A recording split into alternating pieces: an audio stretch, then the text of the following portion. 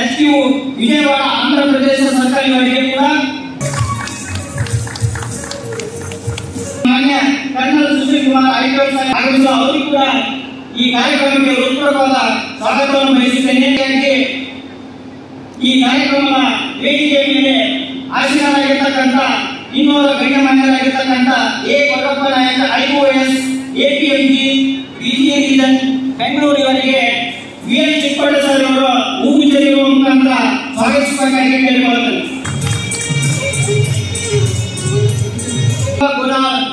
ಮುಖ್ಯಸ್ಥರು ಕನ್ನಡ ವಿಭಾಗ ಉಸ್ಮಾನಿಯಾ ವಿಶ್ವವಿದ್ಯಾಲಯ ಹೈದರಾಬಾದ್ ಇವರು ವೇದಿಕೆಗೆ ಆಗಮಿಸುವಂತೆ ಕೇಳಿಕೊಳ್ಳುತ್ತೇನೆ ಶಿವಾಜಿ ಮೋದಿ ಅವರು ಹೂವು ಚೆಲ್ಲುವ ಮುಖಾಂತರ ಸ್ವಾಗತಿಸಿ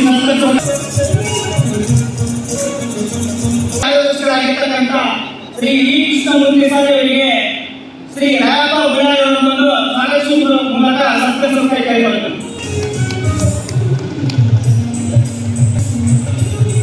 ವಲಯ ಕಾರ್ಯದರ್ಶಿಗಳು ಎಸ್ ಸಿ ಎಸ್ ಟಿ ಸಂಘ ಆರ್ ಎಂ ಎಸ್ ಮತ್ತು ಎಂಎಂಎಸ್ ವಿಭಾಗ ವಲಯ ಬೆಂಗಳೂರು ಇವರಿಗೆ ವಂಗೇರಿ ಅವರು ಹೂವು ಚೆಲ್ಲುವ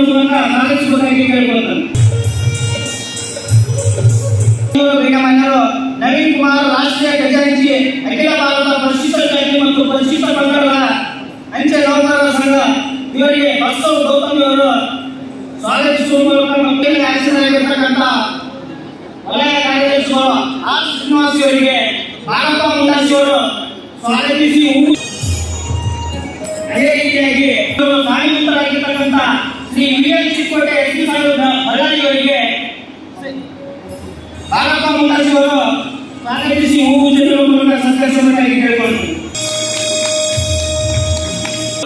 ಕಾರ್ಯಕರ್ತರಾದ ಶ್ರೀ ಮಾನ್ಯ Shivananda R H S P Yadgir ವಿಭಾಗ ಯಾದಗಿರಿ ಇವರಿಗೆ ಶಿವಶಂಕರ್ ರಾಠೋಡ್ ಅವರು ಮುಖ- ಮೂಲಕ ಸ್ವಾಗತಿಸಬೇಕಾಗಿ ಇರತಕ್ಕಂತ B. Veerabhadra Swamy S P O Kalaburagi ವಿಭಾಗ ಅವರಿಗೆ ಸುರೇಶ್ ಚಲ್ವಾದಿ ಅವರು ಹೂವು ಚೆಲ್ಲಿ ಸ್ವಾಗತಿಸಬೇಕಾಗಿ ಕೇಳಿಕೊಳ್ಳುತ್ತೇನೆ. ಆನಂದ್ ಇವರು ಹುಬ್ಬಳ್ಳಿ ರಾಜ್- ರಾಜ್ಯಾಧ್ಯಕ್ಷರು ಕರ್ನಾಟಕ ರಾಜ್ಯ ಸರ್ಕಾರಿ ನೌಕರ ಸಂಘದ ಮಂತ್ರಿಗಳಿಗೆ ಕೃಷ್ಣ ನಾಯಕರು ಬಂದು ಸ್ವಾಗತಿಸಬೇಕಾಗಿ ಹಾಗೂ ಉಪ್ಪು ಜನರ ಮೂಲಕ ಸರ್ಕಾರ ಕೇಳಿಕೊಳ್ಳುತ್ತೇನೆ ಇವರು ಗಣ್ಯಮಾನ್ಯರಾಗಿರ್ತಕ್ಕಂಥ ಸೋಮಶೇಖರ್ ಮದನಗರ ಶ್ರೀ ಸಿ ಕೆ ಜವಾನ್ ಯಾದಗಿರಿ ವಿಭಾಗ ಯಾದಗಿರಿ ಇವರಿಗೆ ಆಗಿರ್ತಕ್ಕಂಥ ಬಿ ಆರ್ ಎಸ್ ಅವರಿಗೆ ವಿನಂಬರ್ ಸಂಜಯ್ ಅವರು ಚೆಲ್ಲುವ ಮೂಲಕ ಸ್ವಾಗತಿಸಿದ್ದಾಗಿ ಕೇಳಿಕೊಳ್ಳುತ್ತೇನೆ. ಈ ವೇದಿಕೆಯಲ್ಲಿ ಆಶ್ರಯರಾಗಿರ್ತಕ್ಕಂಥ ಇನ್ನೂರು ಗಣ್ಯಮಾನ್ಯರು ಸಹನ್ ಕುಮಾರ್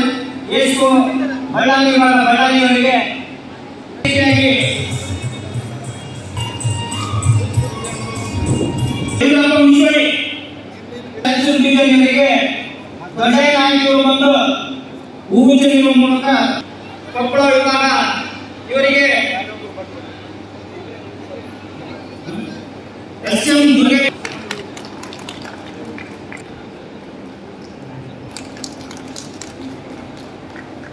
ಗೋವಾರಿಗಳಾದ ಪ್ರೊಫೆಸರ್ ವಡಾರ್ ಅವರಿಗೆ ನಮ್ಮ ಸರ್ಕಲ್ ಸೆಕ್ರೆಟರಿ ಪಿ ಕೃಷ್ಣಮೂರ್ತಿ ಅವರಿಂದ ಸನ್ಮಾನ.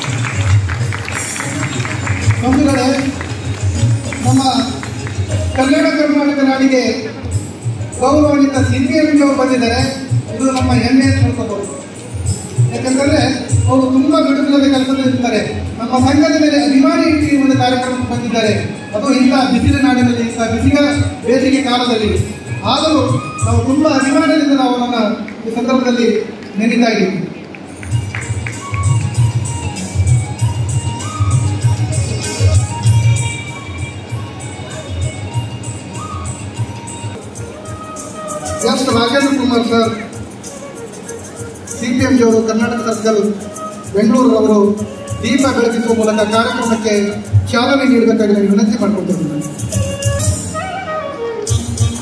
ಕತ್ತಲೆಯಲ್ಲಿರುವಂತಹ ನಮ್ಮ ಬದುಕನ್ನು ಬಾಬಾ ಸಾಹೇಬರು ಬೆಳಕಾಗಿಟ್ಟಿದ್ರು. ಆ ಬಾಬಾ ಸಾಹೇಬರಿಗೆ ಬೆಳಗುವ ಮೂಲಕ, ದೀಪ ಬೆಳಗುವ ಮೂಲಕ ನಾವೇ ಮತ್ತು ನಮ್ಮ ಕಾರ್ಯಕ್ರಮಕ್ಕೆ ಚಾಲನೆ ನೀಡುವಂತಹ ಸುಂದರ ಕ್ಷಣಗಳು ನಮಗೆ ಮನೆ ಬಂದಿದ್ದಾರೆ. ಕತ್ತಲೆಯಲ್ಲಿರುವಂತಹ ಮೌಢ್ಯದಲ್ಲಿರುವಂತಹ ನಮ್ಮನ್ನ ಇಂಥ ರಂಗಮಂದಿರದಲ್ಲಿ ಬಾಬಾ ಸಾಹೇಬರು ಕೂಡ ಹಾಗೆ ಮಾಡಿದ್ದಾರೆ. ಅದಂತಹ ಬೆಳಕಾಗುತ್ತೆ ಬಾಬಾ ಸಾಹೇಬರ ಮುಂದೆ ದೀಪ ಬೆಳಗ್ಗೆ ಬೆಳಗಬೇಕು. ನಾನು ಹೇಳ್ತೇನೆ ಬಾಬಾ ಸಾಹೇಬರ ಆಚಾರ, ವಿಚಾರ, ಸಂಸ್ಕೃತಿ, ಸಿದ್ಧಾಂತ ಮೌಲ್ಯಗಳೇನಿದ್ರೆ ಅವುಗಳನ್ನು ಮೈಗೂಡಿಸಿಕೊಳ್ಬೇಕು ಅಂತಕ್ಕಂಥ ಮಾತನ್ನು ಹೇಳಬೇಕಾಗುತ್ತೆ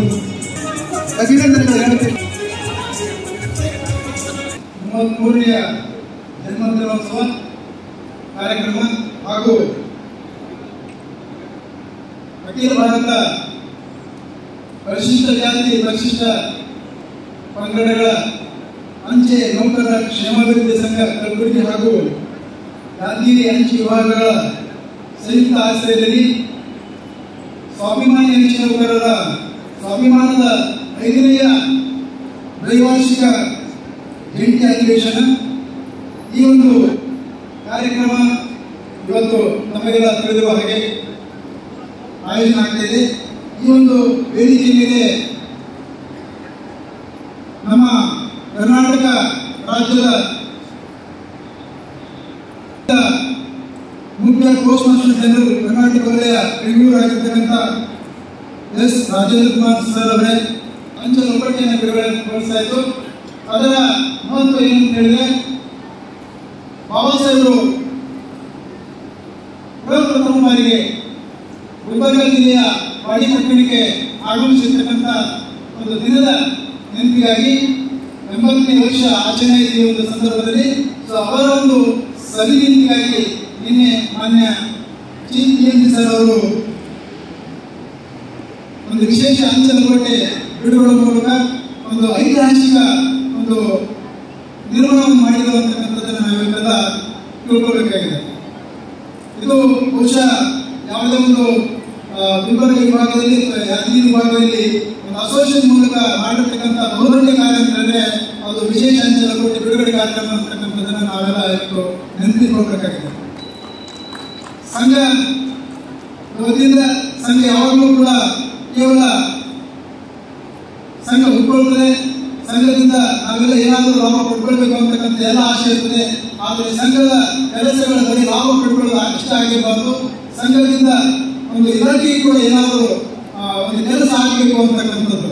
ನಾನು ಇಲಾಖೆಗಾಗಿ ಇದ್ದೀನಿ ಇಲಾಖೆಗಾಗಿ ದುಡಿತೀನಿ ಅಂತಕ್ಕಂಥದ್ದನ್ನ ಸಂಘದವರು ಕೂಡ ಮಾಡಬೇಕು ಅಂತಕ್ಕಂಥದ್ದನ್ನ ಒಂದು ವಿನೂತನ ಕಾರ್ಯಕ್ರಮನ ಈ ಒಂದು ನೌಕರರ ಸಂಘ ಮಾಡಿದೆ ಅಂತಕ್ಕಂಥದ್ದನ್ನ ಈ ಸಂದರ್ಭದಲ್ಲಿ ನಿರ್ಮಿಸಿದ್ದೇನೆ ಇದರ ಮುಖ್ಯ ಉದ್ದೇಶ ಅಂಚೆ ಇಲಾಖೆಯು ಪರಿಶಿಷ್ಟ ಜಾತಿ ಮತ್ತು ಪರಿಶಿಷ್ಟ ಪಂಗಡಗಳ ಅಂಚೆ ನೌಕರರ ಹಿತದೃಷ್ಟಿಯಿಂದ ಜೊತೆಗೆ ಬಾಬಾ ಸಾಹೇಬ್ ವಿಚಾರಧಾರೆ ಮತ್ತು ಸಿದ್ಧಾಂತ ಮೌಲ್ಯಗಳ ಪ್ರಚಾರ ಹಾಗೂ ಪ್ರಸಾರ ಮಾಡತಕ್ಕಂಥದ್ದು ಈ ಸಂಘದ ಮುಖ್ಯ ಉದ್ದೇಶವಾಗಿದೆ ಕೆಲಸ ಮಾಡುವ ಸ್ಥಳದಲ್ಲಿ ನಮ್ಮ ನೌಕರರಿಗೆ ಸಾಮಾಜಿಕ ಹಿನ್ನೆಲೆ, ಏನಾದರೂ ಸಮಸ್ಯೆಗಳಿದೆ ಎದುರಾದಾಗ ಸಂಘಟಿತರಾಗಿ, ರಚನಾತ್ಮಕವಾಗಿ ಪರಿಹಾರ ನೋಡಿಕೊಳ್ಳೋದು ಅಥವಾ ಸಾಮಾಜಿಕ ನ್ಯಾಯಕ್ಕೋಸ್ಕರ ಅದನ್ನ ಸಂಘ ಕೆಲಸ ಮಾಡುತ್ತೆ ಅಂತಕ್ಕಂಥದ್ದನ್ನ ಈ ಒಂದು ಪ್ರಸ್ತಾವಿನ ನುಡಿಯಲ್ಲಿ ನಾನು ಹೇಳ್ತಾ ಇದ್ದೇನೆ.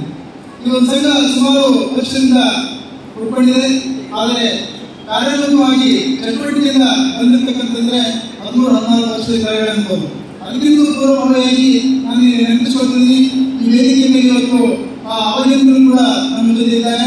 ನನ್ನ ಕಡೋಪ ಸರ್ ಅವರು ಐ ಪಿ ಒ ಇದ್ದಾಗ, ಹಾಗೂ K S Ravindra Kumar sir ಅವರು ಇನ್ಸ್ಪೆಕ್ಟರ್ ಇದ್ದಾಗ ನಾವು ಕೂಡ ಗುಲ್ಬರ್- ಗುಲ್ಬರ್ಗದಲ್ಲಿ ಕೆಲಸ ಮಾಡುವಾಗ ಮೊಟ್ಟ ಮೊದಲನೇ ಬಾರಿಗೆ ನಾವು ಶಾಬಾದ್ನಲ್ಲಿ ಈ ಒಂದು ಎಸ್ ಎಸ್ ಟೆನ್ಷನ್ ಅವರ ಸಂಘವನ್ನು ಸ್ಥಾಪನೆ ಮಾಡಿದ್ವಿ. ಅದಾದ್ಮೇಲೆ ಕಾಲಾಂತರದಲ್ಲಿ ಕಡೋಪ ಸರ್ ಅವರು ಪ್ರಮೋಷನ್ ಆಗಿ ಬೇರೆ ಬೇರೆ ಹೋದ್ರು.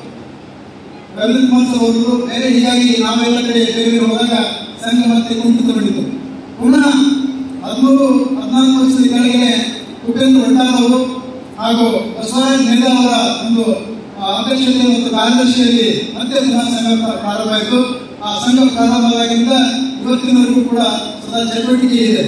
ಹಾಗಾಗಿ ಈ ಸಂಘದ ಅಧ್ಯಕ್ಷರಾಗಿ, ಹಣಕಾಸು ಕಾರ್ಯದರ್ಶಿಯಾಗಿ ಕೂಡ ಕೃಷ್ಣ ರಾಠೋಡ್ ಅವರು ಎರಡು ಮೂರು ಅವಧಿಯವರೆಗೆ ಕೆಲಸ ಮಾಡಿರ್ತಾರೆ. ಇವರ ಅವಧಿಯಲ್ಲಿ ಸಂಘವು ಸಾಕಷ್ಟು ಕಾರ್ಯಕ್ರಮ ಹಮ್ಮಿಕೊಂಡಿದ್ದು ಇವತ್ತಿಗೂ ಇಲ್ಲಿ ಇಡೀ ಕರ್ನಾಟಕ ವಲಯದಲ್ಲಿ ಒಂದು ಇದೆ ಗುಲ್ಬರ್ಗದಲ್ಲಿ ಯಾದಗಿರಿಯಲ್ಲಿ ಒಂದು ಎಸ್ ಎಸ್ ಸಂಘದ ಅಸೋಸಿಯೇಷನ್ ಒಂದು ಕಾರ್ಯಕ್ರಮ ಆಗ್ತಂತಂದ್ರೆ ಬಹಳಷ್ಟು ಜನ ಬೇರೆ ಬೇರೆ ವಿಭಾಗಗಳಲ್ಲಿ ಕೂಡ ಬಂದು ಕಾರ್ಯಕ್ರಮ ನೋಡಿ, ತಮ್ಮ ವಿಭಾಗಗಳಲ್ಲಿ ಕೂಡ ಇದೇ ರೀತಿ ಮಾಡಬೇಕು ಅಂತಕ್ಕಂಥದ್ದನ್ನ ಮಾದರಿಯಾಗಿರ್ತಕ್ಕಂಥದ್ದು ಗುಲ್ಬರ್ಗ ವಿಭಾಗದ ಅಸೋಸಿಯೇಷನ್ ಅಂದ್ರೆ ತಪ್ಪಾಗಲಿಕ್ಕೆ ಅದೇ ರೀತಿಯಾಗಿ ಈ ಒಂದು ಸಂಘದಲ್ಲಿ ವಿನೂತನ ಕಾರ್ಯಕ್ರಮ ಏನಾಗ್ತದೆ ಅಂದ್ರೆ ಪ್ರತಿ ಒಂದು ದೈವಾರ್ಷಿಕ ವರ್ಷದಲ್ಲಿ ನಾವು ಕೇವಲ ಸಂಘದ ಚಟುವಟಿಕೆಗಳನ್ನು ಮಾಡಿದ್ವಿ. ಸಂಘದ ಸದಸ್ಯರುಗಳ ಮಕ್ಕಳು ಸಾಕಷ್ಟು ವಿದ್ಯಾರ್ಥಿಗಳಿದ್ದಾರೆ ಸಾಕಷ್ಟು ಪದವಿಗಳನ್ನು ಪಡೆದಿದ್ದಾರೆ. ಅವರನ್ನು ಗುರುತಿಸತಕ್ಕಂಥ ಕಾರ್ಯ ಕೂಡ ಈ ಸಂಘದಿಂದ ಆಗ್ತಾ ಇದೆ. ಅಂದ್ರೆ ಅವರಿಗೆ ಪ್ರತಿಭಾ ಪುರಸ್ಕಾರ ಒಂದು ಕಾರ್ಯಕ್ರಮ ಕೂಡ ಈ ಸಂಘದ ವತಿಯಿಂದ, ಪ್ರತಿ ದ್ವೈವಾರ್ಷಿಕ ಅಸೋಸಿಯೇಷನ್ ವತಿಯಿಂದ ನಾವು ಮಾಡ್ತಾ ಇದ್ದೀವಿ. ಜೊತೆಗೆ ಆ ನಿವೃತ್ತ ಆಗಿರ್ತಕ್ಕಂಥವರು, ಪ್ರಮೋಷನ್ ಆಗಿರ್ತಕ್ಕಂಥದ್ದು ಕೂಡ ಈ ಸಂಘದ ವತಿಯಿಂದ ಒಂದು ಪುರಸ್ಕಾರವನ್ನು ಕೂಡ ಮಾಡಲಾಗ್ತಿದೆ. ಹಾಗೆ ಕೇವಲ ಸಂಘದ ಸದಸ್ಯರು ಅಷ್ಟೇ ಅಲ್ಲ, ಅವರ ಕುಟುಂಬದವರು ಅಷ್ಟೇ ಅಲ್ಲ, ಈ ಸಂಘದ ಸದಸ್ಯರು ಇದ್ದುಕೊಂಡು ಸಂಘದ ಕುಟುಂಬದ ಸದಸ್ಯ ಯಾರೇ ಕೂಡ ಮೃತಪಟ್ಟ ಸಂದರ್ಭದಲ್ಲಿ ಕೂಡ ಅವನ್ನ ನೆನಪಿಸ್ತಕ್ಕಂಥ ಕಾರ್ಯ, ಅವರಿಗೆ ಗೌರವ ಸೂಚಿಸ್ತಕ್ಕಂಥ ಕಾರ್ಯ ಕೂಡ ಈ ಸಂಘದ ವತಿಯಿಂದ ಆಗ್ತಕ್ಕಂಥದ್ದು. ಇದು ಶ್ಲಾಘನೆ ಅಂತಕ್ಕಂಥದ್ದು. ಈ ರಾಜ್ಯದಲ್ಲಿ ಈ ವಿನೂತನ ಕಾರ್ಯಕ್ರಮನ ವಿಶೇಷವಾಗಿ ಗುಲ್ಬರ್ಗ ಮತ್ತು ಯಾದಗಿರಿ ಒಂದು ಎಸ್ ಎಸ್ ಅಸೋಸಿಯೇಷನ್ ಸಂಘ ಮಾಡ್ತಿದೆ ಅಂತಕ್ಕಂಥ ನಾವು ಹೆಮ್ಮೆಯಿಂದ ಹೇಳ್ಕೊಳ್ಬಹುದು ಸೊ ಇತ್ತೀಚೆಗೆ ನಾವು ಸುಮಾರು ಮೂರ್ನಾಲ್ಕು ವರ್ಷದಿಂದ ಈ ಒಂದು ಸಂಘವನ್ನ ಅತಿ ಚಟುವಟಿಕೆಯಾಗಿ ಅನುಕೂಲವಾಗುತ್ತದೆ ನಂತರದಲ್ಲಿ ನಮಗೆ ಈಗ ಮಲ್ಲಿಕಾರ್ಜುನ ಹೊಸಾನಿ ಭಟ್ಟಾರ್ ಮತ್ತೆ ನಮಗೆ ಡಿ ಎಂ ಹೊಸಾನಿ ಹಾಗೂ ರಮೇಶ್ ಎಚ್ ಇವರೆಲ್ಲ ಬಸವರಾಜ್ ಇವರೆಲ್ಲ ಅನೇಕ ವ್ಯಕ್ತಿಗಳು ಮತ್ತೆ ಸಂಘದಲ್ಲಿ ಚಟುವಟಿಕೆಯಿಂದ ಕೆಲಸ ಮಾಡುವ ಮೂಲಕ, ಕ್ರಿಯಾಶೀಲತೆಯಿಂದ ಕೆಲಸ ಮಾಡುವ ಮೂಲಕ, ಸಂಘವನ್ನು ಸದೃಢವಾಗಿ ಕಟ್ಟುವ ಮೂಲಕ, ಯಾದಗಿರಿ ಮತ್ತು ಕಲಬುರಗಿ ಅಧಿವೇಶನ ಮಾಡಿದ್ದು ಅಲ್ಲಿಗೆ ಅಂತ ನಾವು ಹೇಳ್ಬೋದು. ಒಟ್ಟಿನಲ್ಲಿ ನಮ್ಮ ಈ ಸಂಘವು ಎಲ್ಲರ ಹಿತದೃಷ್ಟಿಗಾಗಿ ದುಡಿತಿದೆ. ಸಂಘ ಸಹೋದ್ಯೋಗಿಗಳೊಂದಿಗೆ ಬಾಂಧವ್ಯವನ್ನು ರಕ್ಷಣಾತ್ಮಕ ಇಟ್ಟಿದೆ ಅಂತಕ್ಕಂಥದ್ದನ್ನ ಹೇಳ್ತೀವಿ. ಕೇವಲ ಯಶಸ್ವಿ ಸಂಘ ಅಂದ್ರೆ ಟಿ ಜನರೇ ಇದ್ದಾರೆ ಅಂತಕ್ಕಂಥದ್ದಲ್ಲ ಟಿ ಸಂಘದ ಜೊತೆಗೆ ಇಡೀ ಸಮುದಾಯವನ್ನ, ಇಡೀ ಎಂಪ್ಲಾಯರ್ನ ನಾವು ಜೊತೆ ಜೊತೆಗೆ ತಂದು ಕಾರ್ಯ ಸಂಘ ಮಾಡ್ತಿದೆ ಅಂತಕ್ಕಂಥದ್ದನ್ನು ಹೇಳ್ಬೋದು. ಸೊ ಇಂಥ ಒಂದು ಬಾಬಾ ಸಾಹೇಬರ ವಿಚಾರಧಾರೆ ಸಿದ್ಧಾಂತ ಮೌಲ್ಯಗಳು ಬೆಳೆಸುವುದರ ಜೊತೆಗೆ ಸಂವಿಧಾನ ಹಾಗೂ ಮೀಸಲಾತಿಯ ರಕ್ಷಣೆಗಾಗಿ ಕೂಡ ಈ ಸಂಘ ವಿಚಾರ ಮಾಡ್ತದೆ ಅಂತಕ್ಕಂಥದ್ದನ್ನ ಈ ಸಂದರ್ಭದಲ್ಲಿ ತಮ್ಮನ್ನ ಗಮನಕ್ಕೆ ಬರ್ತೇನೆ ಈ ಸಂಘ ಬಹುತೇಕವಾಗಿ ಅಸ್ತಿತ್ವಕ್ಕೆ ಬಂದ ಮೇಲೆ ಸಂಘದ ಸದಸ್ಯರು ಬಹಳ ಬಹಳ ರಾಜ್ಯಗಳಿಗೆ ಹೋಗಿದ್ದಾರೆ. ಗೋವಾಕ್ಕೆ ಹೋಗಿದ್ದಾರೆ, ಗುಜರಾತ್ ಹೋಗಿದ್ದಾರೆ ಚೆನ್ನೈ ಹೋಗಿದ್ದಾರೆ, ಅನೇಕ ಕಡೆ ಚಿತ್ರದುರ್ಗ ಹೋಗಿದ್ದಾರೆ, ಹಾಸನದಲ್ಲಿ ಹೋಗಿದ್ದಾರೆ. ಈ ಅನೇಕ ಕಡೆ ಒಂದು ಕಾರ್ಯಕ್ರಮಕ್ಕೆ ಭಾಗಿಯಾಗಿ ಅಲ್ಲಿ ಚಟುವಟಿಕೆಗಳನ್ನು ಅರ್ಥ ಮಾಡಿಕೊಂಡು ನಮ್ಮ ಒಂದು ಗುಲ್ಬರ್ಗ ಯಾದಗಿರಿಯಲ್ಲಿ ಕೂಡ ವಿಶೇಷವಾದ ಕಾರ್ಯಕ್ರಮ ಮಾಡಬೇಕು ಅಂತಕ್ಕಂಥದನ್ನ ವಿಚಾರ ಹಮ್ಮಿಕೊಂಡು, ಸೊ ಬಾಬಾ ಸಾಹೇಬರ ವಿಚಾರಗಳನ್ನ ಪ್ರತಿಯೊಬ್ಬರಿಗೂ ಕೂಡ ಮುಟ್ಬೇಕು ಅಂತಕ್ಕಂಥ ಒಂದು ಉದ್ದೇಶ ಸಂಘದ ಇದೆ ಅಂತಕ್ಕಂಥದ್ದನ್ನೇ ನಮ್ಮ ಗಮನಕ್ಕೆ ತರ್ತಾ ಇದ್ದೀನಿ. ಹಾಗೆ ಈ ಒಂದು ಇತ್ತೀಚೆಗೆ ಗುಲ್ಬರ್ಗ, ಅಖಂಡ ಗುಲ್ಬರ್ಗ ಯಾದಗಿರಿ ಮತ್ತು ಕಲಬುರಗಿ ಜಿಲ್ಲೆ ಕಲಬುರಗಿ ಮತ್ತು ಯಾದಗಿರಿ ಇವಾಗ ಬೇರೆ ಆದಮೇಲೆ ಅಲ್ಲಿಯೂ ಕೂಡ ಒಂದೊಂದು ಸಂಘಗಳ ರಚನೆ ಆಗಿದೆ ಸೊ ಈಗ ಮಾತ್ರ ಕಲಬುರಗಿ ಹಾಕಿ ಅಲ್ಲಿ ಪ್ರತ್ಯೇಕವಾಗಿ ನೂತನ ಅಧ್ಯಕ್ಷರು ಕಾರ್ಯದರ್ಶಿ ಬೇರೆ ಬೇರೆ ಈ ವರ್ಷ ಮಾಡಿದ್ವಿ ಅದಾದ್ರೂ ಕೂಡ ಮತ್ತೆ ಪುನಃ ಕಾರ್ಯಕ್ರಮ ಮಾತ್ರ ಒಂದು ಕಡೆ ಮಾಡ್ತಾ ಇದ್ದೀವಿ. ಈ ಒಂದು ಕಾರ್ಯಕ್ರಮದ ನಂತರ ಆ ವಿಭಾಗಗಳು ಬೇರೆ ಬೇರೆ ಕಡೆ ಆಗ್ತದೆ ಅಂತಕ್ಕಂಥ ಹೇಳ್ತಾ, ಇಲ್ಲಿ ಬಾಬಾ ಸಾಹೇಬರ ಒಂದೆರಡು ಕೊಟೇಶನ್ ಸೇರಿಸಿ ನಾವು ಹೇಳೋದಾದ್ರೆ, ಬಾಬಾ ಸಾಹೇಬರು ಬಹಳ, ನಾವು ಬಹಳ ಒಂದೇ ಒಂದು ಕೊಟೇಶನ್ ಹೇಳಕ್ಕೆ ಇಷ್ಟಪಡ್ತೀನಿ ಭಾರತದ ಮೂಲ ನಿವಾಸಿಗಳಾದ ನಾವು ದೇಶದ ತಂತ್ರಜ್ಞಾನಿಗೆ ತಳಪಾಯವಾಗಿ ಇತಿಹಾಸವಾದ ಪರಿಶಿಷ್ಟ ಜಾತಿ ಪರಿಶಿಷ್ಟ ಪಂಗಡ ಹಾಗೂ ದೀನದಿಂದ ಶೋಷಿತ ಬಹುಜನರು ನೂರಾರು ಅನಿಷ್ಟ ಪದ್ಧತಿ ಸಂಕೋಲೆಗಳಿಂದ ವಿಮುಕ್ತರಾಗಿ ಆರ್ಥಿಕ, ಸಾಮಾಜಿಕ, ರಾಜಕೀಯ, ಧಾರ್ಮಿಕ ಮತ್ತು ಶೈಕ್ಷಣಿಕವಾಗಿ ಸದೃಢರಾಗಿ ಆಕಾಶದೆತ್ತರಕ್ಕೆ ಬೆಳೆದಿಂದಾಗ ಮಾತ್ರ ನನ್ನ ಮೂಲ ಉದ್ದೇಶ ಗುರಿ ಕನಸಿ ಅರ್ಥ ಬರ್ತದೆ ಅಂತಕ್ಕಂಥ ಬಾಬಾ ಸಾಹೇಬ್ ಅಂಬೇಡ್ಕರ್ ಹೇಳಿದರು. ಆ ಒಂದು ಸಿದ್ಧಾಂತದಲ್ಲಿ ಆ ಒಂದು ವಿಚಾರದಲ್ಲಿ ಇವತ್ತು ಸಂಘ ಒಂದು ಕೆಲಸ ಮಾಡ್ತಿದೆ ಅಂತಕ್ಕಂಥದ್ದನ್ನು. ಹಾಗೆ ಬಾಬಾ ಸಾಹೇಬಿಗೆ ಈ ಒಂದು ಸಂಘದಲ್ಲಿ ಏನಾದರೂ ಇಲಾಖೆ ಒಂದು ಋಣ ತೀರಿಸಬೇಕು ಅಂತಕ್ಕಂಥ ಉದ್ದೇಶ ಇಟ್ಕೊಂಡೆ. ನಾವು ಕಳೆದ ಸಾಲಿನಲ್ಲಿ ಬಾಬಾ ಸಾಹೇಬರ ಒಂದು ಸಂವಿಧಾನ ಹಬ್ಬ ಆಚರಿಸುವ ಸಂದರ್ಭದಲ್ಲಿ ಬೆಂಗಳೂರಲ್ಲಿ ಆಚರಿಸುವಾಗ ಸಂದೇಶ್ ಮಾಧವ ಸರ್ ಅವರು ಒಂದು ಮಾರ್ಗದರ್ಶಕರಾಗಿ ಒಂದು ಆ, ಕೋಟೆಯನ್ನು ಬಿಡುಗಡೆ ಮಾಡಿದರು. ಅದು ನಮಗೆ ಒಂದು ಮಾದರಿ ಆಯಿತು. ಆ ಮಾದರಿ ಪ್ರಕಾರ ನಾವು ಕೂಡ ಸಂಘದಲ್ಲಿ ಒಂದು ವಿಶೇಷ ಅಂಚೆ ಬಿಡುಗಡೆ ಮಾಡಬೇಕು ಅಂತಕ್ಕಂಥ ಒಂದು ಆಶೆ ಇಟ್ಕೊಂಡು ನಾವು ವಿಶೇಷ ಅಂಚೆ ಲಕೋಟೆನ ತಯಾರು ಮಾಡಿ ಮಾನ್ಯ C P M G sir ಅವರ ಒಂದು ಅಪ್ರೂವಲ್ ಕೂಡ ಪಡ್ಕೊಂಡಿದ್ವಿ ಒಂದಲ್ಲ ಎರಡು ಸಲ ಮಾನ್ಯ C P M G sir ಅವರನ್ನ ಪರ್ಸನಲ್ ಆಗಿ ನಾವು ಹಾಸನದಲ್ಲಿ ಹೋದಾಗ ಭೇಟಿಯಾದಿರಿ ಚಿತ್ರದುರ್ಗ ಹೋದಾಗ ಭೇಟಿಯಾದಿರಿ ನಾನು ತುಮಕೂರಲ್ಲಿ ಹೋದಾಗ ಕೂಡ ನಾವು ಬೇಕಂದ್ರೆ ಹೋಗಿ ಪರ್ಸನಲ್ ಭೇಟಿಯಾದಾಗ ಮಾನ್ಯ C P M G sir ಅವರು ಹೃದಯಪೂರ್ವಕವಾಗಿ ಮಾಡ್ಕೊಂಡ್ರು ಮತ್ತೆ ಅಷ್ಟೇ ನಮಗೆ ಎಷ್ಟು ಒಂದು ಸಹಾಯ ಮಾಡಿದ್ರು, ಸಲಹೆ ನೀಡಿದ್ರೆ ಈ ಒಂದು ಕಾರ್ಯಕ್ರಮ ಒಂದು ವಿನೂತನವಾಗಿರ್ತಕ್ಕಂಥ ಕಾರ್ಯಕ್ರಮ, ಒಂದು ಸುಸಂದರ್ಭದಲ್ಲಿ ಕಾರ್ಯಕ್ರಮ ಜರುಗಬೇಕು.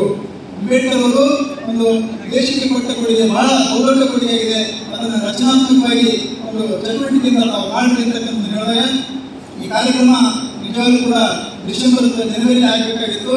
ಆದರೆ ಈ ವಿಶೇಷ ಅಂಚಲು ಬಿಡುಗಡೆ ಮಾಡತಕ್ಕಂಥ ವಿಶೇಷ ದಿನ ಯಾವಾಗ ಬರ್ತದೆ ಅಂತಕ್ಕಂಥದ್ದನ್ನ ಮಾನ್ಯ ಸಿ ಪಿ ಎಂ ಸರ್ ಹೇಳಿದಾಗಲೇ ಆ ಒಂದು ಇಪ್ಪತ್ತೇಳು, ನಾಲ್ಕು, ಎರಡು ಸಾವಿರದ ಇಪ್ಪತ್ನಾಲ್ಕರಂದು ಹುಬ್ಬಳ್ಳಿ ಅಂಚೆ ಕಚೇರಿಯಲ್ಲಿ ನೆರಿ ನೆರವೇರಿತು ಕೂಡ ನಮ್ಮ ಈ ಒಂದು ಗಮನಕ್ಕೆ ತರ್ತಾ ಇದ್ದೀನಿ. ಒಟ್ಟಿನಲ್ಲಿ ನಮ್ಮ ಮಾನ್ಯ ಸಿ ಪಿ ಸರ್ ಅವರು, ಸಂದೇಶ್ ಮಾಧವ ಸರ್ ಅವರು, ಹೊರಗಪ್ಪ ಸರ್ ಅವರು, ವಿಶೇಷವಾಗಿ ನಮಗೆ ದಿಗ್ಗಜ ಆಗಿರ್ತಕ್ಕಂಥ ವಿ ಅವರ ಮಾರ್ಗದರ್ಶನ, ಸಹಕಾರ ಸಲಹೆ ಸದಾ ನಮಗಿದೆ ಅವರ ಒಂದು ಸಹಕಾರ ಸಲಹೆ ಇರೋದ್ರಿಂದಲೇ ನಾವು ಈ ಮಟ್ಟಕ್ಕೆ ಬೆಳೆಯಲಿಕ್ಕೆ ಸಾಧ್ಯತೆ ಇದೆ ಅಂತಕ್ಕಂಥದ್ದನ್ನೇ ಬಾಬಾ ಸಾಹೇಬ್ರವರು ಈ ಕಲಬುರಗಿ ಜಿಲ್ಲೆಯ ವಾಡಿ ಪಟ್ಟಣಕ್ಕೆ ಎರಡು ಸಲ ಬಂದು ಹೋಗಿದ್ದರ ನಿಮಿತ್ತವಾಗಿ ನಮ್ಮ ಎಲ್ಲ ಸಹೃದಯ ಮನಸ್ಸುಗಳು ಸೇರಿಕೊಂಡು ಬಾಬಾ ಸಾಹೇಬರ ಹೆಸರಿನಲ್ಲಿ ಒಂದು ವಿಶೇಷವಾದಂಥ ಅಂಚೆ ಲಕೋಟೆಯನ್ನು ಬಿಡುಗಡೆ ಮಾಡ್ತಾರೆ ಆ ಬಿಡುಗಡೆ ಮಾಡುವಂಥ ಜವ ಜವಾಬ್ದಾರಿಯನ್ನು ನಮ್ಮ ಕರ್ನಾಟಕ ವಲಯದ ಸಿ ಪಿ ಎಂ ಜಿ ಅವರಾಗಿರ್ತಕ್ಕಂಥ ಗೌರವಾನ್ವಿತ ಎಸ್ ರಾಜೇಂದ್ರ ಕುಮಾರ್ ಅವರು, ತಾರಾ ಮೇಡಮ್ ಅವರು ಸಂದೇಶ್ ಅವರು ಕೊರಗಪ್ಪ ಸರ್ ಅವರು ಮತ್ತು ಎಲ್ಲ ಎಸ್ ಪಿ ಅವರು ಎಸ್ ಪಿ ಅವರು ನಮ್ಮೆಲ್ಲ ನಾವೆಲ್ಲರೂ ಸೇರಿ ಬಹಳ ವಿದ್ಯುಕ್ತವಾಗಿ ಆ ಕಾರ್ಯಕ್ರಮವನ್ನು ಬಿಡುಗಡೆ ಮಾಡುವ ಮೂಲಕ ನಾವು ಬಾಬಾ ಸಾಹೇಬರ ಒಂದು ವಿಶೇಷ ಅಂಚೆಯನ್ನು ನಾವು ಲೋಕಾರ್ಪಣೆ ಮಾಡಿದ್ದೀವಿ. ಇದು ಒಂದು ಐತಿಹಾಸಿಕ ಕಾರ್ಯಕ್ರಮ. ಸಂಘದಲ್ಲಿ ಮಾಡಬೇಕಂತಕ್ಕಂಥ ಆಶೆ ಇರೋದ್ರಿಂದ ಆ ಕಾರ್ಯಕ್ರಮವನ್ನು ನಾವು ನಿನ್ನೆ ಮಾಡಿದ್ದೀವಿ. ಅದನ್ನು ನಾವು ಇವತ್ತು ಸ್ಮರಿಸಬೇಕಾಗಿದೆ ಬಂಧುಗಳು. ಹೀಗಾಗಿ ಆ ಒಂದು ಕಾರ್ಯಕ್ರಮದ ನಿಮಿತ್ತವಾಗಿ ನಮ್ಮ ಒಂದು ಸಂಘದ ಒಂದು ಕಾನ್ಫರೆನ್ಸ್ನಲ್ಲಿ ಭಾಗಿಯಾಗಬೇಕು ಅಂತಕ್ಕಂಥ ಗೌರವಾನ್ವಿತ ಸಿ ಪಿ ಎಂ ಸರ್ ಅವರಿಗೆ ಕೇಳಿಕೊಂಡಾಗ ಅವರು ತುಂಬ ಅಭಿಮಾನದಿಂದ ಈ ಒಂದು ಕಾರ್ಯಕ್ರಮದಲ್ಲಿ ಬಂದು ದೀಪ ಬೆಳಗಿಸುವ ಮೂಲಕ ನಮ್ಮ ನಿಮ್ಮ ನಡುವೆ ಒಂದು ದೊಡ್ಡ ಬೆಳಕನ್ನು ಕೊಟ್ಟಿದ್ದಾರೆ. ಹೀಗಾಗಿ ಅವರು ದಯಮಾಡಿ ತಮ್ಮ ಈ ಉದ್ಘಾಟನಾ ಭಾಷಣವನ್ನು ಮಾಡಬೇಕಾಗಿ ನಾನು ಗೌರವಾನ್ವಿತ C P M D sir ಅವರಲ್ಲಿ ವಿನಂತಿ ಸೊ ಒಂದು ರೀತಿಯಲ್ಲಿ ಈ ಯುವ ಪುರುಷ ಯುಗಾದಿಯ ದಿನ ಆ, ನಾನು ನಾನು ನೆನೆಸ್ತಾ ಇದ್ದೇನೆ. ಮತ್ತು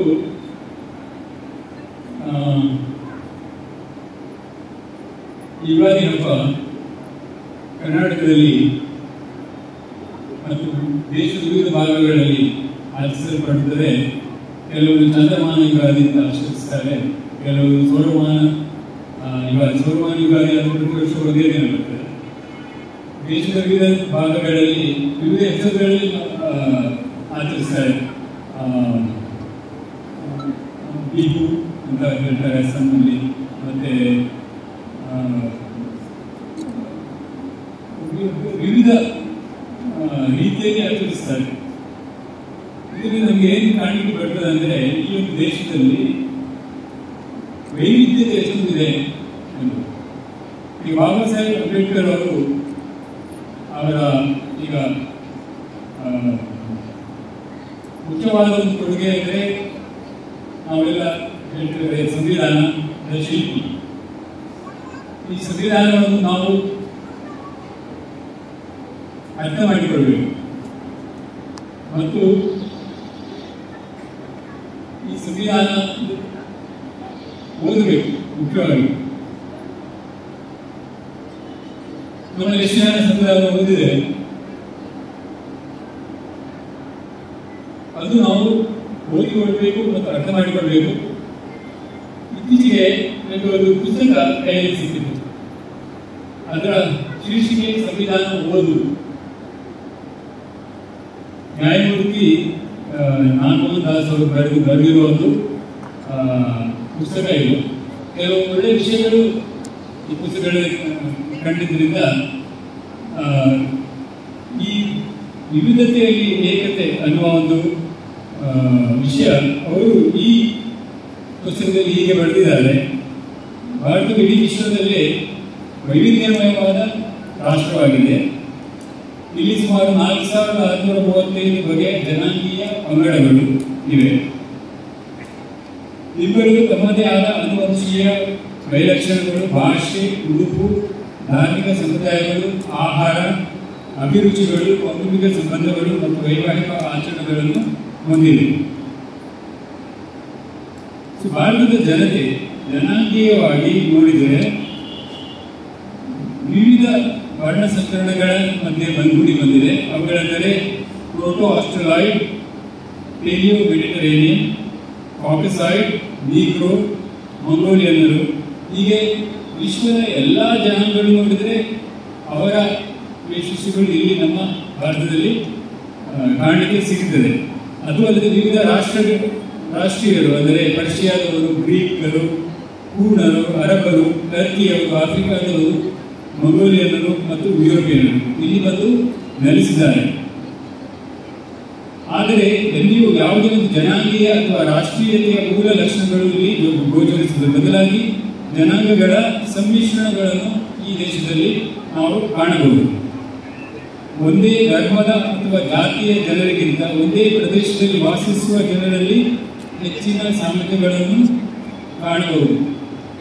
ಮೇಲ್ವರ್ಗದ ಮತ್ತು ಕೆಳವರ್ಗದ ಜಾತಿಗಳ ನಡುವೆ ಯಾವುದೇ ಅನುವಂಶೀಯ ಭಿನ್ನತೆಗಳು ಇರುವುದಿಲ್ಲ ಎಂದು ವೈಜ್ಞಾನಿಕವಾಗಿ ಸಾಬೀತವಾಗಿದೆ. ಅಂದರೆ ಜೆನೆಟಿಕ್ಸ್ ಡಿಸಿಮಿಲಾರಿಟೀಸ್ ಇಲ್ಲ.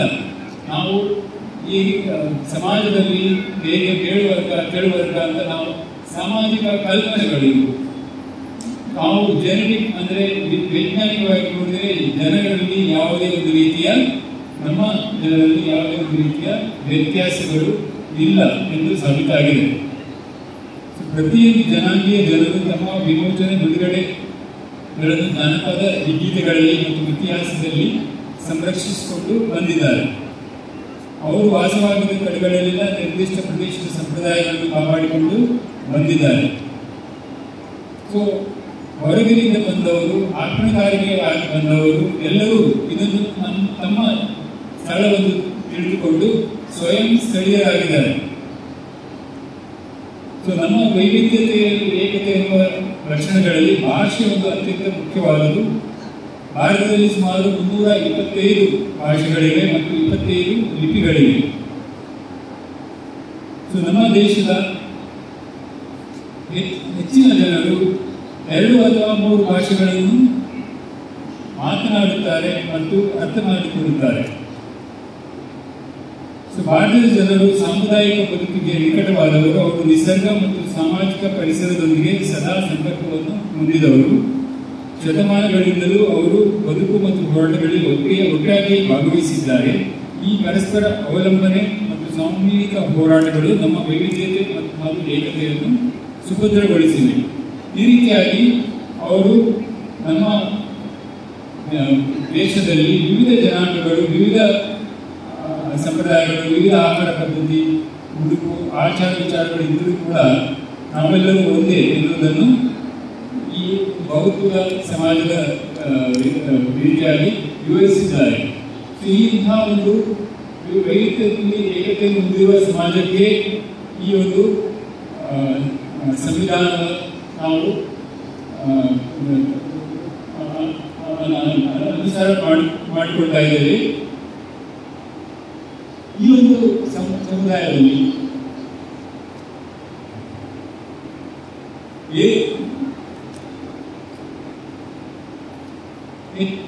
ಈಗಲೂ ಕೂಡ ಇಷ್ಟೊಂದು ನಾವು ಒಂದು ವಿವಿಧತೆ ಏಕತೆ ಅಂತ ಹೇಳಿದ್ರು ಕೂಡ ಎಷ್ಟೋ ವಿಧವಾದ ಏರುಪೇರುಗಳನ್ನು ನಾವು ಕಾಣ್ತಾ ಇದ್ದೇವೆ, ಸಮಾಜದ ಒಳಗೆ. ಅದು ಅಲ್ಲದೆ ಜಾತಿ, ಮತ ಅಲ್ಲದೆ ಈ ಸಮಾಜ ಪುರುಷ ಪ್ರಧಾನವಾಗಿದೆ. ಇಲ್ಲಿ ಮಾತ್ರವಲ್ಲ ಜಗತ್ತಿನ ಎಲ್ಲೆಲ್ಲಿ ನೋಡಿದರೂ ಕೂಡ ಮಹಿಳೆಯರು ದುರ್ಬಲ ಎಂದು ಒಂದು ಭಾವನೆ ಕಂಡು ಬಂದಿದೆ ಇತಿಹಾಸದಲ್ಲಿ.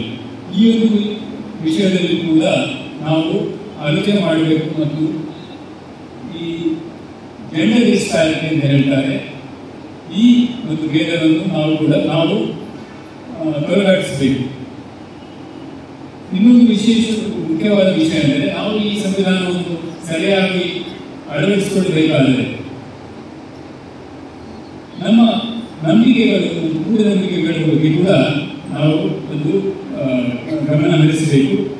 ಜಗತ್ತಿನ ಈ ಪುಸ್ತಕಗಳಿಗೆ ಬಂದಿದ್ದಾರೆ. ಜಗತ್ತಿನಾದ್ಯಂತ ಎಲ್ಲ ಕಾಲಗಳಲ್ಲಿ, ಎಲ್ಲ ದೇಶಗಳಲ್ಲಿ ತನ್ನದೇ ಆದ ನಂಬಿಕೆಗಳು ಮತ್ತು ಆಚರಣೆ ಆಚರಣೆಗಳಿವೆ ಸಮಾಜದ ಬಹುಪಾಲು ಜನರು ನಿತ್ಯದ ಜೀವನ ಹೆಜ್ಜೆ ಹೆಜ್ಜೆಗೂ ಆಚರಿಸಿಕೊಂಡು ಬರ್ತಾ ಇದ್ದಾರೆ. ನಂಬಿಕೆ ಮೂಢನಂಬಿಕೆಗಳ ನಡುವಿನ ಗೆರೆ ಅತ್ಯಂತ ಸೂಕ್ಷ್ಮ ಮತ್ತು ಅಸ್ಪಷ್ಟ. ಅರ್ಥ ಮಾಡಿಕೊಳ್ಳಬಹುದಾದ ನಂಬಿಕೆಗಳಂತೆಯೇ ಅರ್ಥ ಮಾಡಿಕೊಳ್ಳಲಾಗದ ನಂಬಿಕೆಗಳು ಇವೆ. ಅದೇ ರೀತಿ ಅವಾಮನೀಯ ಅಮಾನವೀಯ, ಅಪಾಯಕಾರಿ, ವಿನಾಶಕಾರಿ, ಹಿಂಸಾತ್ಮಕ ಹಾಗೂ ಅನಾರೋಗ್ಯಕರ ನಂಬಿಕೆಗಳು ಇವೆ. ತಲತಲಾಂತರಗಳಿಂದ ಪ್ರಶ್ನಿಸದೆ ಬಂದಿರುವ ನಂಬಿಕೆಗಳು ಮತ್ತು ಸತ್ಯಾಸತ್ಯತೆಯನ್ನು ಪರೀಕ್ಷಿಸಿ ನೋಡಲು ಅಸಮರ್ಥರಾದ ಜನರ ನಂಬಿಕೆಗಳೇ ಮೂಢನಂಬಿಕೆಗಳು. ಈ ಮೂಢನಂಬಿಕೆಗಳು ಜನರ ಗಮನವನ್ನು ಸಮಸ್ಯೆಗಳ ಮೂಲದಿಂದ ದೂರ ಸೆಳೆದು ಅವರಲ್ಲಿ ಹತಾಶೆಯನ್ನು ಮೂಡಿಸುತ್ತವೆ.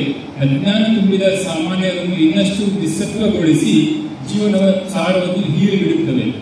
ವಸ್ತುನಿಷ್ಠ ಸಾಮಾಜಿಕ ಬದಲಾವಣೆಗೆ ಬದಲಾಗಿ ಜಡುತನವೇ ಸಾಮಾಜಿಕ ವಾಸ್ತವವಾಗಿರುತ್ತದೆ. ಇಂತಹ ಮೌಲ್ಯಗಳಿಂದ ಶೋಷಣೆ, ಗುಲಾಮಗಿರಿ, ಅಸ್ಪೃಶ್ಯತೆ, ಮೇಲು ಕೀಳೆಂಬ ಆಲೋಚನೆಗಳು ಮುಂದುವರಿಯುತ್ತಾ ಇವೆ. ಭಾರತದಲ್ಲಿ ಎಣಿಸಲಾಗದಷ್ಟು ಮೂಢನಂಬಿಕೆಗಳಿವೆ ದಿನದಿಂದ ದಿನಕ್ಕೆ ಹೊಸ ಮೂಢನಂಬಿಕೆಗಳು ಸೇರ್ಪಡೆಯಾಗುತ್ತವೆ. ಇದು ನಾವು ಕಾಣಲಿಕ್ಕೆ ಸಿಗುತ್ತದೆ. ಈಗ ಯಾಕೆಂದರೆ ಎಷ್ಟೋ ಕಡೆ ಈಗ ಇರುವ ಎಷ್ಟೋ ದೇವತೆಗಳ ಸಾಲಿಗೆ ಈಗ ನಾವು ಕೇಳ್ತೇವೆ. ಆ, ಸಿರುವಮ್ಮ ದೇಗಮ್ಮ ಏಡ್ಸಮ್ಮ ಅಂತ ಇರುವ ಕೆಲವು ಎಷ್ಟೋ ಹೊಸ ದೇವತೆಗಳು ನಾವು ಕೇಳುವುದು ಇದೆಲ್ಲ ಮೂಢನಂಬಿಕೆಗಳನ್ನು ತೊಳಗಾಡಿಸದೆ ತೊಲಗಾಡಿಸದಿದ್ದರೆ ನಾವು ಸಂವಿಧಾನದಿಂದ ನಮಗೆ ಬೇಕಿರುವ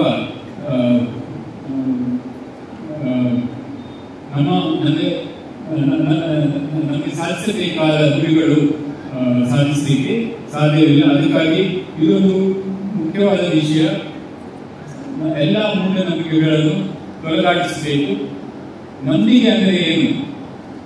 ಇದರ ಬಗ್ಗೆ ಒಂದು ವಿಷಯ ಹೇಳಬೇಕಂತಿದೆ. ನಿನ್ನೆ ನಾನು ನಿಮಗೆ ಪ್ರಸ್ತಾಪಿಸಿದೆ ಶ್ರೀ ಶ್ರೀ ಅವರ ಬಗ್ಗೆ. ಅವರು ಹೇಳ್ತಾರೆ, ಒಂದು ಅವರ ತರಗತಿಯಲ್ಲಿ ಸಣ್ಣ ವಿದ್ಯಾರ್ಥಿ ಆಗಿದ್ದಾಗ. ಒಂದು ದಿನ ಅವರ ತರಗತಿಯಲ್ಲಿ ಒಬ್ಬರು ಮೇಷು ಬಂದರು. ಅವರ ತಲೆ ಮೇಲೆ ಅಂದರೆ ಏನು ಹೇಳ್ತಾರೆ ಹಣೆಯ ಮೇಲೆ ಅಡ್ಡನಾಮಗಳು ಸೊ ವಿದ್ಯಾರ್ಥಿಗಳು ಆ, ಇಷ್ಟವರೆಗೆ ನೋಡಿಲ್ಲ. ಸ್ವಲ್ಪ ಬಿಸಿ ಬಿಸಿ ಮಾಡಲಿಕ್ಕೆ ಶುರು ಅದನ್ನು ನೋಡಿ.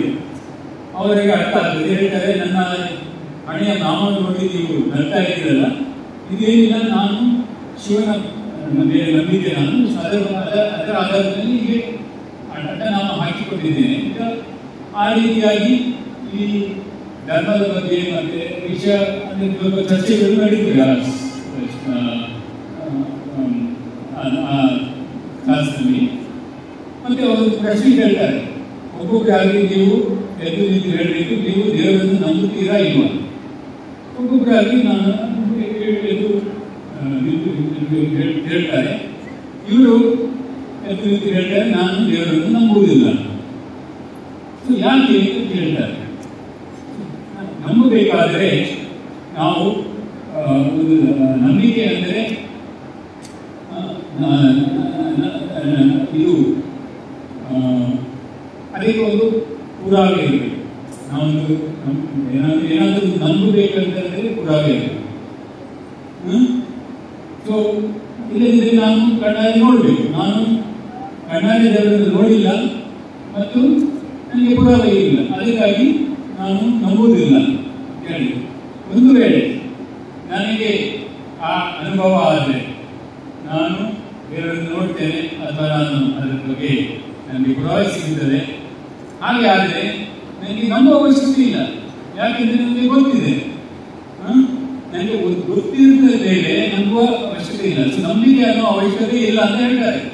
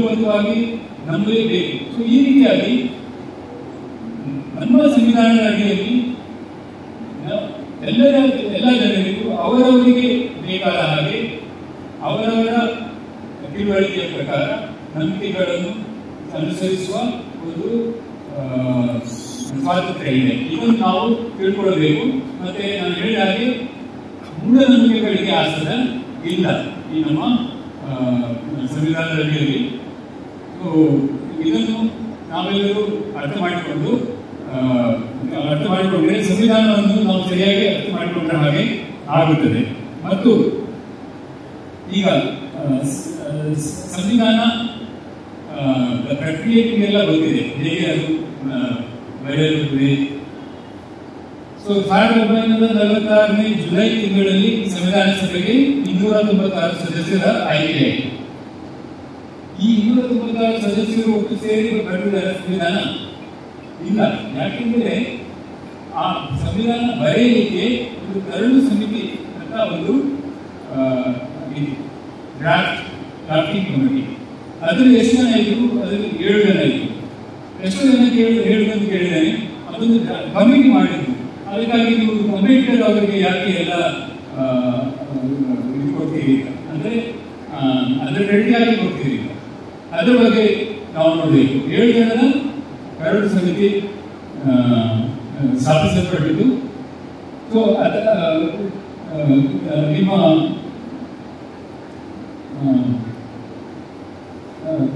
ನಿಮಗೆ ಹೇಳಲಿಕ್ಕೆ ಏನಂತಂದ್ರೆ, ಈ ಏಳ್ನೂರ ತೊಂಬತ್ತಾರು ಸದಸ್ಯರಲ್ಲಿ ಕೆಲವರು ಈ ಸದಸ್ಯರು ಈ ಭಾರತ ವಿಭಜನೆ ಕಾರಣದಲ್ಲಿ ಬಿಟ್ಟು ಹೋದ್ರೆ ಕೊನೆಯಲ್ಲಿ ಇನ್ನೂರ ಎಪ್ಪತ್ತೆರಡು ಸದಸ್ಯರಿದ್ದರು ಸೊ ಫೆಬ್ರವರಿ ಇಪ್ಪತ್ತೊಂದು ಸಾವಿರದ ಒಂಬೈನೂರ ನಲವತ್ತೆರಡಕ್ಕೆ ಜನತೆ ಮುಂದೆ ಈ ಕರಡನ್ನು ಇಡಲಾಯಿತು ಜನತೆ ಈ ಕರಡು ಸಂವಿಧಾನವನ್ನು ಚರ್ಚಿಸಿ ಎರಡು ಸಾವಿರದ ಆರುನೂರ ಮೂವತ್ತೈದು ತಿದ್ದುಪಡಿಗಳನ್ನು ಸೂಚಿಸಿದರು. ಈ ತಿದ್ದುಪಡಿಗಳನ್ನು ಪರಿಶೀಲಿಸಿ ಸಾವಿರದ ಒಂಬೈನೂರ ನಲವತ್ತೊಂಬತ್ತು ನವೆಂಬರ್ ಇಪ್ಪತ್ತಾರರಂದು ಅಂತಿಮ ಕರಡನ್ನು ಭಾರತ ಸರ್ಕಾರಕ್ಕೆ ಸಲ್ಲಿಸಲಾಯಿತು. ಇದನ್ನು ಈಗ ನಾವೆಲ್ಲ ಗೊತ್ತಿದ್ದಾಗೆ ಸಂವಿಧಾನ ದಿನ ಎಂದು ಆಚರಿಸುತ್ತೇವೆ. ಸೊ ಒಟ್ಟಿನಲ್ಲಿ ಎರಡು ವರ್ಷ, ಹನ್ನೊಂದು ತಿಂಗಳು, ಹದಿನೇಳು ದಿವಸಗಳ ಒಂದು ತಪಸ್ಸಿನ ಫಲ ಇದು, ಒಂದು ಸಂವಿಧಾನ. ಸೊ ನಾನು ಹೇಳಿದ ಹಾಗೆ ಇನ್ನೂರ ಎಪ್ಪತ್ತೆರಡು ಸದಸ್ಯರಿದ್ದರೂ ಸಹ ಈ ಏಳು ಜನದ ಕರಡು ಸಮಿತಿಯಲ್ಲಿ ಬಾಬಾ ಸಾಹೇಬ್ ಅಂಬೇಡ್ಕರ್ ಅವರು ದಿನಕ್ಕೆ ಹದಿನೆಂಟು ಗಂಟೆಗಳಿಗೂ ಹೆಚ್ಚು ಕಾಲ ಈ ಎರಡು ವರ್ಷ ಹನ್ನೊಂದು ತಿಂಗಳು ಹದಿನೆಂಟು ದಿವಸ ಹೇಳಿದಲ್ವ ನಿರಂತರವಾಗಿ ಕೆಲಸ ಮಾಡಿದ್ದಾರೆ. ಸೊ ಭಾರತದ ಸಂವಿಧಾನದ ರಚನೆಗೆ ಅಂಬೇಡ್ಕರ್ ಅವರೇ ಅವರ ಕೊಡುಗೆಯೇ ಪ್ರಮುಖ ಎಂದು ಮೊದಲ ರಾಷ್ಟ್ರಪತಿ ಡಾಕ್ಟರ್ ರಾಜೇಂದ್ರ ಪ್ರಸಾದ್ ಅವರು ಹೀಗೆ ಹೇಳಿದ್ದಾರೆ. ಅವರು ರಾಜೇಂದ್ರ ಪ್ರಸಾದ್ ಅವರು ನಿಮಗೆಲ್ಲ ಗೊತ್ತಿದ್ದ ಹಾಗೆ ಸಂವಿಧಾನ ಸಭೆಗೆ ಅಧ್ಯಕ್ಷರಾಗಿದ್ದರು. ಸಂವಿಧಾನ ಸಭೆಯ ಅಧ್ಯಕ್ಷರಾಗಿದ್ದರು. ಅವರು ಹೇಳ್ತಾರೆ ಸಂವಿಧಾನ ಸಭೆಯ ಅಧ್ಯಕ್ಷನಾಗಿ ಪ್ರತಿದಿನದ ಚಟುವಟಿಕೆಗಳನ್ನು ಬಹಳ ಕೂಲಂಕಷವಾಗಿ ಗಮನಿಸಿದ್ದೇನೆ ಸಂವಿಧಾನ ಕರಡು ರಚನೆ ಸಮಿತಿ ಮತ್ತು ವಿಶೇಷವಾಗಿ ಅದರ ಅಧ್ಯಕ್ಷರಾದ ಡಾಕ್ಟರ್ ಬಿ ಆರ್ ಅಂಬೇಡ್ಕರ್ ಅವರು ಇಷ್ಟು ಶ್ರದ್ಧೆ ಮತ್ತು ಉತ್ಸುಕತೆಯಿಂದ ಈ ಕಾರ್ಯವನ್ನು ನಡೆಸಿದ್ದಕ್ಕೆ ಎಲ್ಲರಿಗಿಂತ ಹೆಚ್ಚು ಅವರಿಗೆ ಕೃತಜ್ಞತೆ ಸಲ್ಲಿಸುತ್ತೇನೆ. ಡಾಕ್ಟರ್ ಅಂಬೇಡ್ಕರ್ ಅವರಿಗೆ ಡಾಕ್ಟರ್ ಬಿ ಆರ್ ಅಂಬೇಡ್ಕರ್ ಅವರನ್ನು ಕರಡು ರಚನೆ ಸಮಿತಿಗೆ ಸೇರಿಸಿದ್ದು ಮತ್ತು ಅದರ ಅಧ್ಯಕ್ಷರನ್ನಾಗಿ ಮಾಡಿದ್ದು ನಾವು ಮಾಡಿದ ಅತಿ ಉತ್ತಮ ಕೆಲಸ ಎಂದು ರಾಜೇಂದ್ರ ಪ್ರಸಾದ್ ಅವರು ಹೇಳಿದ್ದಾರೆ. ಮತ್ತು ಸಂವಿಧಾನ ಸಭೆಯ ಉಪಾಧ್ಯಕ್ಷರಾಗಿದ್ದ ಟಿ ಟಿ ಕೃಷ್ಣಮಾಚಾರಿ ಹೇಳುತ್ತಾರೆ ಸಂವಿಧಾನ ಕರಡು ಸಮಿತಿಗೆ ನೇಮಿಸಿದ ಏಳು ಸದಸ್ಯರಲ್ಲಿ ಒಬ್ಬರು ಮಧ್ಯದಲ್ಲಿ ರಾಜೀನಾಮೆ ನೀಡಿದರು. ಆರು ಜನ ಉಳಿದರು ಮತ್ತೆ ಆ ಜಾಗವನ್ನು ಆ, ಆ, ಆ, ಆಮೇಲೆ ತುಂಬಿಸಿದ್ರು ಆದರೆ ಒಬ್ಬರು ಮರಣವನ್ನು ಅಂತಿದ್ದರು ಸೊ ಬೆಳೆದರು ಆ, ಆ ಜಾಗಕ್ಕೆ ಯಾರನ್ನು ತುಂಬಲಿಲ್ಲ ಮತ್ತೊಬ್ಬರು ಅಮೆರಿಕದಲ್ಲಿ ಐದು ಜನ ಉಳಿದರು ಅವರ ಜಾಗವನ್ನು ಬೇರೆಯವರಿಂದ ತುಂಬಲಿಲ್ಲ ಮತ್ತೊಬ್ಬರು ರಾಜ್ಯದ ಆಡಳಿತ ಕಾರ್ಯಗಳಲ್ಲಿ ನಿರತರಾಗಿದ್ದರು ಸೊ ನಾಲ್ಕು ಜನ ಉಳಿದರು ಮತ್ತೆ ಒಬ್ಬರು ಅಥವಾ ಇಬ್ಬರು ದೆಹಲಿಯಿಂದ ದೂರವೇ ಕಾರಣ ಕಾರಣಾಂತರಗಳಿಂದ ಬಿಕಾಸ್ ಅವರ ಆರೋಗ್ಯ ಸಮೇತ ಸರಿಯಿಲ್ಲ. ಆರೋಗ್ಯ ಅವರನ್ನು ಅನುಮತಿ ಅನುಮತಿಸಲಿಲ್ಲ. ನಂತರ ಸಂವಿಧಾನದ ಕರಡನ್ನು ರಚಿಸುವ ಭಾರ ಡಾಕ್ಟರ್ ಅಂಬೇಡ್ಕರ್ ಅವರ ಬೇರೆಯೇ ಇತ್ತು. ಅವರು ಒಬ್ಬರೇ ಉಳಿದರು. ಸಂಪೂರ್ಣ ಕಾಲ ಅದರ ಬಗ್ಗೆ ರಚನೆ ಮೇಲೆ ರಚನೆ ನಿರ್ವಹಿಸಿದವರು ಮತ್ತು ಆ ಕಾರ್ಯವನ್ನು ಅವರು ಒಟ್ಟಿಯಾಗಿ ನಿರ್ವಹಿಸಿದ ರೀತಿ ಶ್ಲಾಘನೀಯ ಮತ್ತು ನಾವೆಲ್ಲ ಯಾವುದೇ ಅನುಮಾನಗಳಿಲ್ಲದೆ ಅವರಿಗೆ ಚಿರಋಣಿ ಆಗಿರಬೇಕು ಎಂದು ಅವರ ಸಂವಿಧಾನ ಸಭೆಯ ಉಪಾಧ್ಯಕ್ಷರು ಹೇಳಿದ್ದಾರೆ. ಸೊ ಇನ್ನು ಮುಂದಕ್ಕೆ ಮತ್ತೆ ಯಾರಾದರೂ ಈ ವಿಷಯವಾಗಿ ಹೇಳಿದರೆ ನಿಮಗೆ ಉತ್ತರ ಗೊತ್ತಿದೆ. ಸಂವಿಧಾನ ಶಿಲ್ಪಿ ಡಾಕ್ಟರ್ ಬಿ ಆರ್ ಅಂಬೇಡ್ಕರ್ ಅವರು, ನಾವು ಅವರಿಗೆ ಒಂದು ನಮಗೆ ಮಾರ್ಗದರ್ಶನ ನೀಡುವಂತಹ ಒಂದು ಸಂವಿಧಾನ ಧರಿಸಿದ್ದಕ್ಕೆ ಏಪ್ರಿಲ್ ಹದಿನಾಲ್ಕಕ್ಕೆ ಜನ್ಮದಿನ ಮಾಡುವಂಥದ್ದು ಬಾಬಾ ಸಾಹೇಬ್ ಅಂಬೇಡ್ಕರ್ ಅವ್ರದ್ದು ಅಂತಕ್ಕಂಥ ಮಾತನ್ನು ಹೇಳಿದರು. ಜೊತೆ ಜೊತೆಗೆ ನಾವು ನಾವೆಲ್ಲರೂ ಸಂವಿಧಾನವನ್ನು ಚೆನ್ನಾಗಿ ಅರ್ಥ ಮಾಡಬೇಕು, ಮಾಡ್ಕೊಳ್ಬೇಕು ಅಂತಕ್ಕಂಥ ಒಂದು ಸಂದೇಶವನ್ನು ಮಾನ್ಯ ಸಿ ಜಿ ಸರ್ ಅವರು ನಮಗೆ ನೀಡಿದ್ದಾರೆ. ನನಗೆ ಅನಿಸ್ತದ ಸರ್ ಅವರು ತುಂಬ ಅಧಿಕೃತವಾಗಿ ಮಾತಾಡ್ತಾರೆ. ಯಾವುದು ಉಲ್ಲೇಖ ಇಲ್ಲದೆ ಅವರು ಮಾತಾಡೋಂಗಿಲ್ಲ. ಸರ್ ಅವರಿಗೆ ಟೈಮ್ ಯಾವಾಗ ಸಿಗ್ತದ ಅದು ಗೊತ್ತಾಗ್ತಿಲ್ಲ ನನಗೆ. ಯಾಕಂದ್ರೆ ಮೊನ್ನೆ C P M K sir ಅವರು ನಮ್ಮ ಇಡೀ ಕರ್ನಾಟಕದ ಮುಖ್ಯಸ್ಥರು ಅವರು ಅಂಚೆ ಮುಖ್ಯಸ್ಥರು. ಮೈ ತುಂಬ ಕೆಲಸ. ಆದರೆ ಅವರು ಯಾವತ್ತೂ ಅತ್ಯನಿಷ್ಠರು ಹಾಸನಕ್ಕೆ ಬಂದರು, ಒಂದು ಗಂಟೆ ಮಾತಾಡಿದ್ರು. ಮೊನ್ನೆ ಚಿತ್ರದುರ್ಗಕ್ಕೆ ಬಂದರು, ಒಂದು ಗಂಟೆ ಮಾತಾಡಿದ್ರು. ನಮ್ಮ ಜೊತೆ ಕೂಡ್ತಾರೆ. ಅವ್ರಿಗೆ ಯಾವಾಗ ಸಮಯ ಸಿಗ್ತದೆ, ಅವ್ರು ಯಾವಾಗ ಓದ್ತಾರೆ, ಬಾಬಾ ಸಾಹೇಬರನ್ನ ಚೆನ್ನಾಗಿ ಅರ್ಥ ಮಾಡಿಕೊಂಡಿರ್ತಕ್ಕಂಥ ಒಂದು ದೊಡ್ಡ ಮನಸ್ಸು ಅಂದರೆ ನಮ್ಮ ಸಿ ಪಿ ಎಂ ಸರ್. ಹೀಗಾಗಿ ನಮ್ಮ ಇಡೀ ಕರ್ನಾಟಕದ ವಲಯ ಸಂಘದ ಪರವಾಗಿ, ಯಾದಗಿರಿ ಮತ್ತು ಕಲಬುರಗಿ ನಮ್ಮ ಎಸ್ ಎಸ್ ಟಿ ಅಂಚೆ ಅಂಚೆ ನೌಕರರ ಸಂಘದ ಪರವಾಗಿ ನಮ್ಮ ಮಾನ್ಯ ಸಿ ಪಿ ಎಂ ಸರ್ ಅವರಿಗೆ ಒಂದು ದೊಡ್ಡ ಚಪ್ಪಾಳೆ ನಮ್ಮ ಪರವಾಗಿ.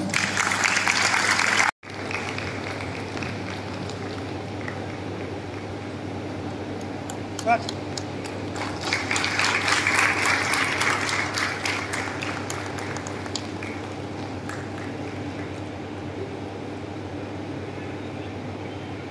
ಅಧಿಕಾರ ಸಾರ್ವಜನ ಶ್ರೇಷ್ಠ ಭಾರತ ರತ್ನ ಡಾಕ್ಟರ್ ಬಾಬಾ ಸಾಹೇಬ್ ಅಂಬೇಡ್ಕರ್ ಅವರು ಏನೆಂದು ಕೇಳಿದರೆ ಹೆಮ್ಮೆಯಿಂದ ಉತ್ತರ ಕೊಡಿ ಏನೆಂದು ಉತ್ತರ ಕೊಡಿ ಅಂದರೆ ಮಾನವ ಹಕ್ಕುಗಳ ಹೋರಾಟಗಾರ ಸಮಾನತೆಯ ಅಧಿಕಾರ ಸರ್ವಧರ್ಮ ಶ್ರೇಷ್ಠ ಸಾಮಾಜಿಕ ಚಿಕಿತ್ಸಕ ವಿಶ್ವ ರತ್ನ ಜ್ಞಾನದ ಸಂಕೇತ ರಾಜಕೀಯ ತಜ್ಞ ಸಮಾಜ ಶಾಸ್ತ್ರಜ್ಞ ಅರ್ಥಶಾಸ್ತ್ರಜ್ಞ ಇತಿಹಾಸ ತಜ್ಞ ಖ್ಯಾತ ಚಿಂತಕ ವಿಶ್ವ ಮಾನವ ಆಧುನಿಕ ಭಾರತ ನಿರ್ಮಾಪಕ ಭಾರತ ರತ್ನ ಸಂವಿಧಾನ ಶಿಲ್ಪಿ ಬೌದ್ಧ ಧರ್ಮದ ಪುನರುಜ್ಜೀವಕ, ಆಧುನಿಕ ತಜ್ಞ, ಶಿಕ್ಷಣ ತಜ್ಞ, ಕಾನೂನು ತಜ್ಞ. ಶ್ರೀ ಸ್ವಾತಂತ್ರ್ಯವಾದಿ ಖ್ಯಾತ ಲೇಖಕ ಶ್ರೇಷ್ಠ ವಾಗ್ಮಿ ಅದ್ಭುತ ಬರಹಗಾರ ಬೋಧಿಸತ್ವ ಶಿಸ್ತಿನ ಸಿಪಾಯಿ ಮಹಾನ ಮಾನವವಾದಿ ವಿಚಾರವಾದಿ ಸಮಾಜವಾದಿ ಸಮುದಾಯವಾದಿ ಜ್ಞಾನಯೋಗಿ ತತ್ವಶಾಸ್ತ್ರಜ್ಞ ಸಾಹಿತ್ಯಕಾರ ಅಹಿಂಸಾವಾದಿ ಕ್ರಾಂತಿಕಾರಿ ವಿಶ್ವ ಮಾನವ ಮಾರ್ಗದರ್ಶಕ ಇಂಗ್ಲಿಷ್ ಪಂಡಿತ ಬಹುಭಾಷಾ ತಜ್ಞ ಯುವ ಪುರುಷ ನೀರಾವರಿ ತಜ್ಞ ಹಸಿರು ಕ್ರಾಂತಿಕಾರ ಕರುಣಾಮಯಿ ಪ್ರಜ್ಞಾ ಪ್ರಜಾಪ್ರಭುತ್ವವಾದಿ ವೈಜ್ಞಾನಿಕ ಸಲಹೆಗಾರ ಕಾರ್ಮಿಕರ ಕಣ್ಮಣಿ ಬಡವರ ಬಂಧು ದೂರದೃಷ್ಟಿ ಖ್ಯಾತ ಪತ್ರಕರ್ತ ರೈತರ ಪಾಲಿನ ಭಾಗ್ಯದಾತ ಜಾತಿ ಪದ್ಧತಿ ನಿವಾರಕ ಪರಿವರ್ತನೆ ಅಧಿಕಾರ ಅಗ್ರಗಣ್ಯ ರಾಷ್ಟ್ರ ನಾಯಕ ಬಹುಜನ ನಾಯಕ ಮಿನುಗುತ್ತಾರೆ ಯೋಜನೆಕಾರ ಭಾರತೀಯ ರಿಸರ್ವ್ ಬ್ಯಾಂಕ್ ಸೃಷ್ಟಿಕರ್ತ ಸಮಾನತೆಯ ಅಧಿಕಾರ ಪರಿಸರವಾದಿ ನಿಜವಾದ ಭಾರತದ ಪಿತಾಮಹ ಅಪ್ಪಟ್ಟ ದೇಶ ಪ್ರೇಮಿ ಭಾರತದ ಬೆಳಕು ಶ್ರೇಷ್ಠಶೀಲ ವ್ಯಕ್ತಿತ್ವ ಮೂರು ಸಾವಿರ ವರ್ಷಗಳ ಗುಲಾಮಗಿರಿಯನ್ನು ಕೇವಲ ಐವತ್ತೈದು ವರ್ಷಗಳಲ್ಲಿ ನಿರ್ಮೂಲನೆ ಮಾಡಿದ ಮಹಾಚೇತನ ಡಾಕ್ಟರ್ ಬಾಬಾ ಸಾಹೇಬ್ ಅಂಬೇಡ್ಕರ್.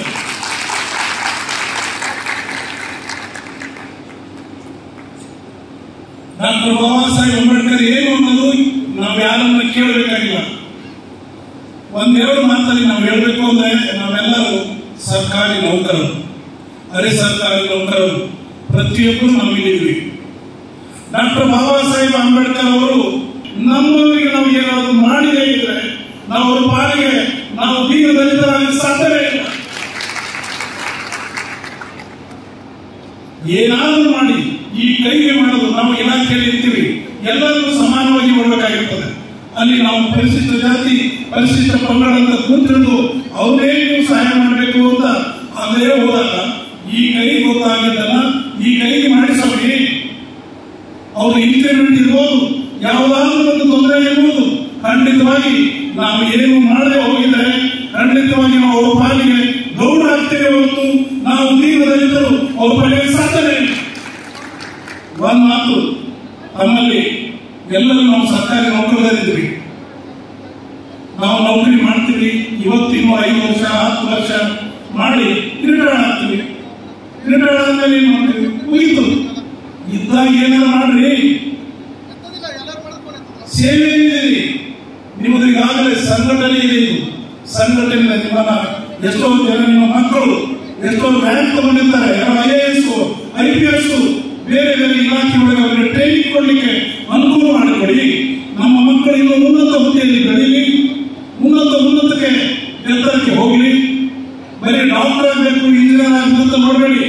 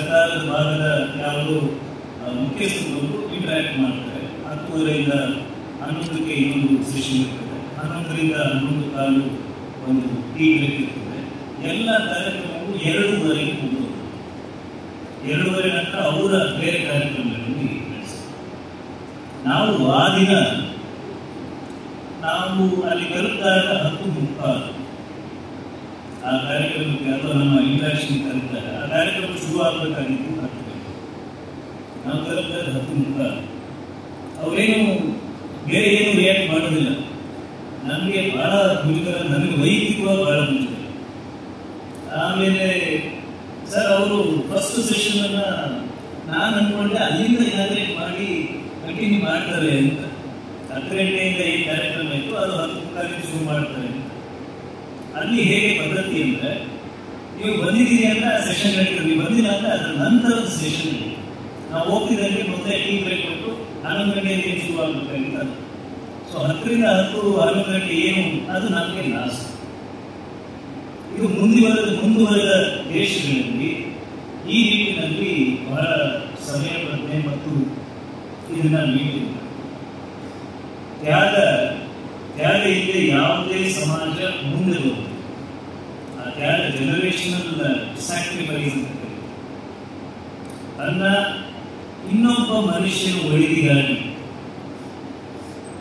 ಸಾವಿರಾರು ಲಕ್ಷಾಂತರ ಮಿಲಿಯನ್ ಪಾಪ್ಯುಲೇಷನ್ ಇರತಕ್ಕಂಥ ಹರ ಸಮುದಾಯದ ಒಳಿತಿಗಾಗಿ ತನ್ನ ಜೀವನವನ್ನೇ ಮುಡಿಬಿಟ್ಟ ಮಹಾನ್ ಚೇತನ ಬಾಬಾ ಆ ಒಂದು ಮಹಾನ್ ಚೇತನದ ನೆನಪಿನಲ್ಲಿ ಇವತ್ತು ನೀವು ಅಂಬೇಡ್ಕರ್ ಹಬ್ಬ ಆಚರಿಸ್ತಾ ಇದ್ದೀವಿ ಹಬ್ಬ ಅಂತಂದ್ರೆ ಬಹಳ ಸಡಗರವಾದ ವಾತಾವರಣ, ಊಟ, ಉಪಚಾರ, ಮತ್ತೆ ಮನೆಯ ಏನಾದರೂ ನಾನಿಲ್ಲಿ ಸ್ಟ್ರೆಸ್ ಮಾಡಿ ನನ್ನ ಇದರ ಮಾತು ಶುರು ಮಾಡಲಿಕ್ಕೆ ಮುಂಚೆ ಆ ಒಂದು ತ್ಯಾಗ ಇದೆಯಲ್ಲ ಆ ತ್ಯಾಗ ಇಲ್ಲದೆ ನಾವು ಎಷ್ಟು ಭಾಷಣ ಮಾಡಿದ್ರು ಎಷ್ಟು ವಿಷಯವನ್ನ ಹೇಳಿಕೊಂಡ್ರು ಕೂಡ ಅದು ಬಹಳ ಅಪ್ರಯೋಜಕ ಆಗಿರುತ್ತದೆ ಸ್ನೇಹಿತರೆ ಒಂದು ಆ, ಒಂದು ಪಾಯಿಂಟ್ ನಾವು ಗಮನದಲ್ಲಿ ಇಟ್ಕೊಳ್ಬೇಕು.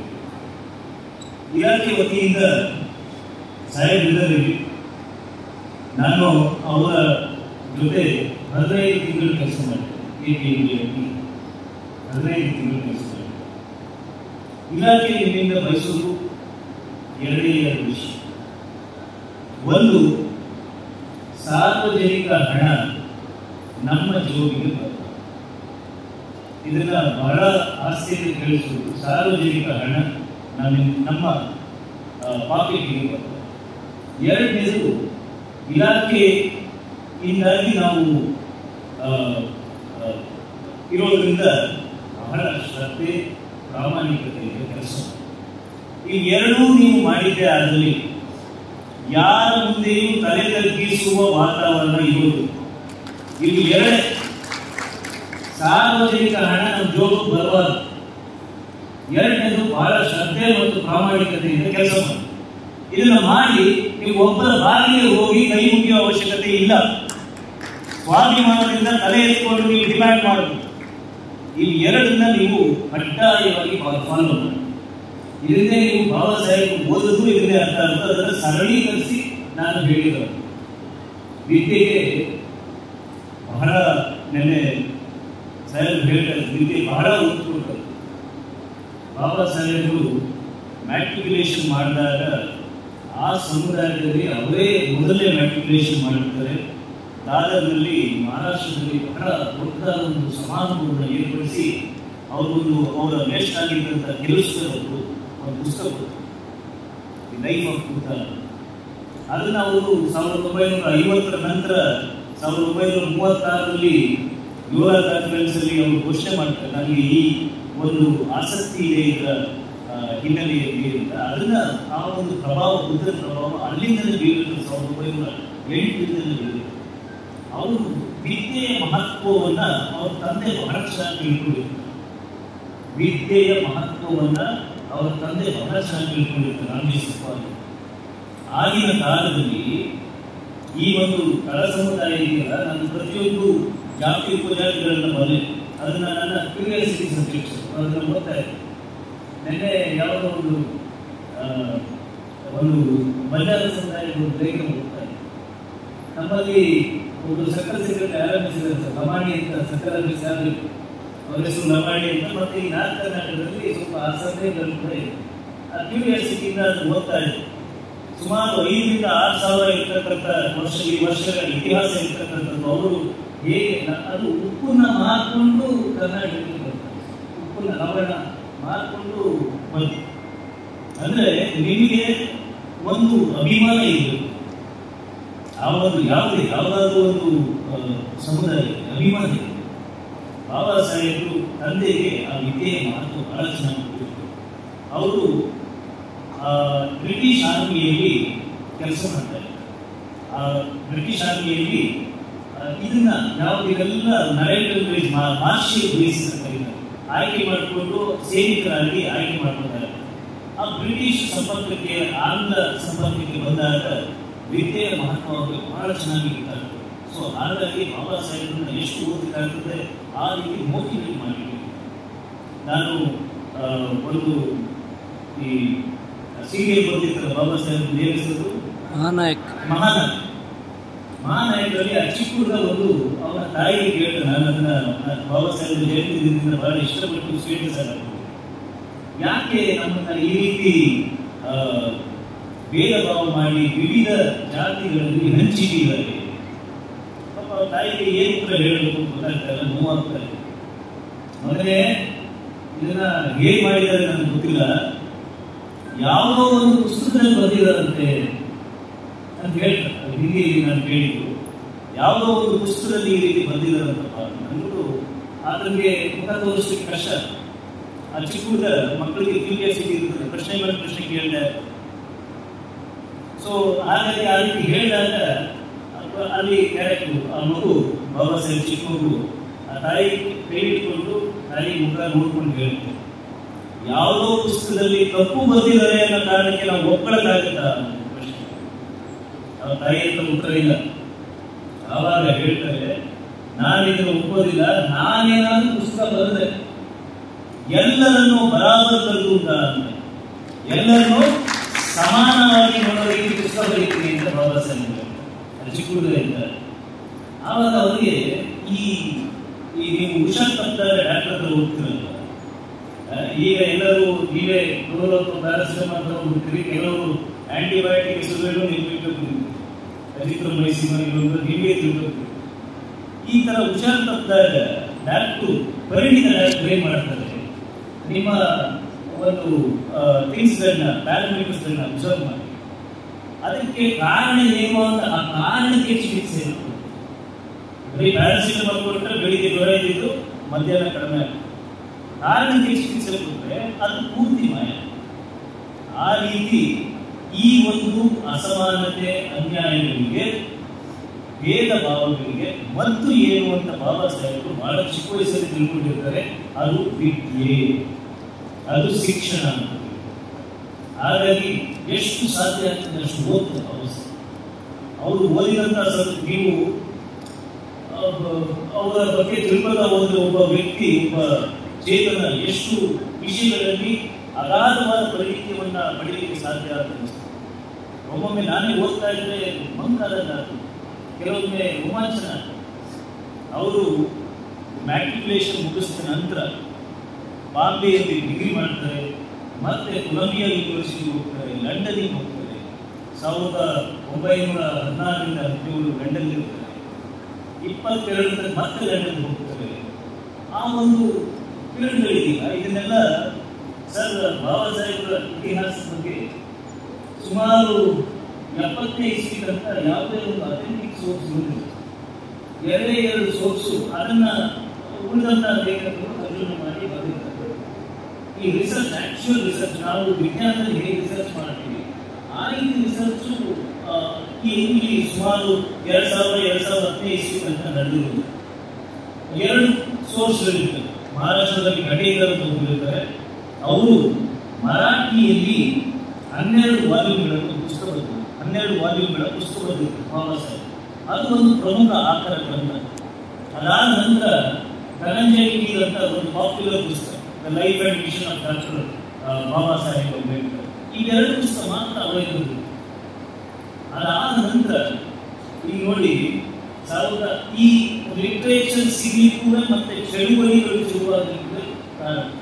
ನಾಲೆಡ್ಜ್ ಮೊದಲನೇ ಜನರೇಷನ್ ಅವರು ಬಾಬಾ ಸಾಹೇಬ್ ನಂತರ ಇಸ್ ವ್ಯಾಕ್ಯೂಮ್ ಒಂದು ಇಪ್ಪತ್ತು, ಇಪ್ಪತ್ತೈದು, ಇಪ್ಪತ್ತು ವರ್ಷಗಳ ಕಾಲ ವ್ಯಾಕ್ಯೂಮ್ ಇರ್ತದೆ ಗೊತ್ತಿರುವುದು ಅದು ಸ್ಪ್ರೆಡ್ ನಾಲೆಡ್ಜ್ ಯಾವಾಗ ಸ್ಪ್ರೆಡ್ ಆಗ್ತದೆ, ಶಿಕ್ಷಣ ಯಾವಾಗ ಸ್ಪ್ರೆಡ್ ಆಗ್ತದೆ, ಪುಸ್ತಕಗಳು ಯಾವಾಗ ಅವೈಲೇಬಲ್ ಶುರುವಾಗ್ತದೆ ಆವಾಗ ಅವೇರ್ನೆಸ್ ಕ್ರಿಯೇಟ್ ಆಗ್ತದೆ. ಆ ಅವೇರ್ನೆಸ್ ಅಂತಂದ್ರೆ ಏನು? ಅವೇರ್ನೆಸ್ ಅಂದ್ರೆ ನೀವು ಹೋಗಿ ಕತ್ತಿ ಇಟ್ಕೊಂಡು ಇನ್ನೊಂದು ತೊಂದರೆ ಮಾಡಿ ಅಂತಲ್ಲ ಮೊನ್ನೆ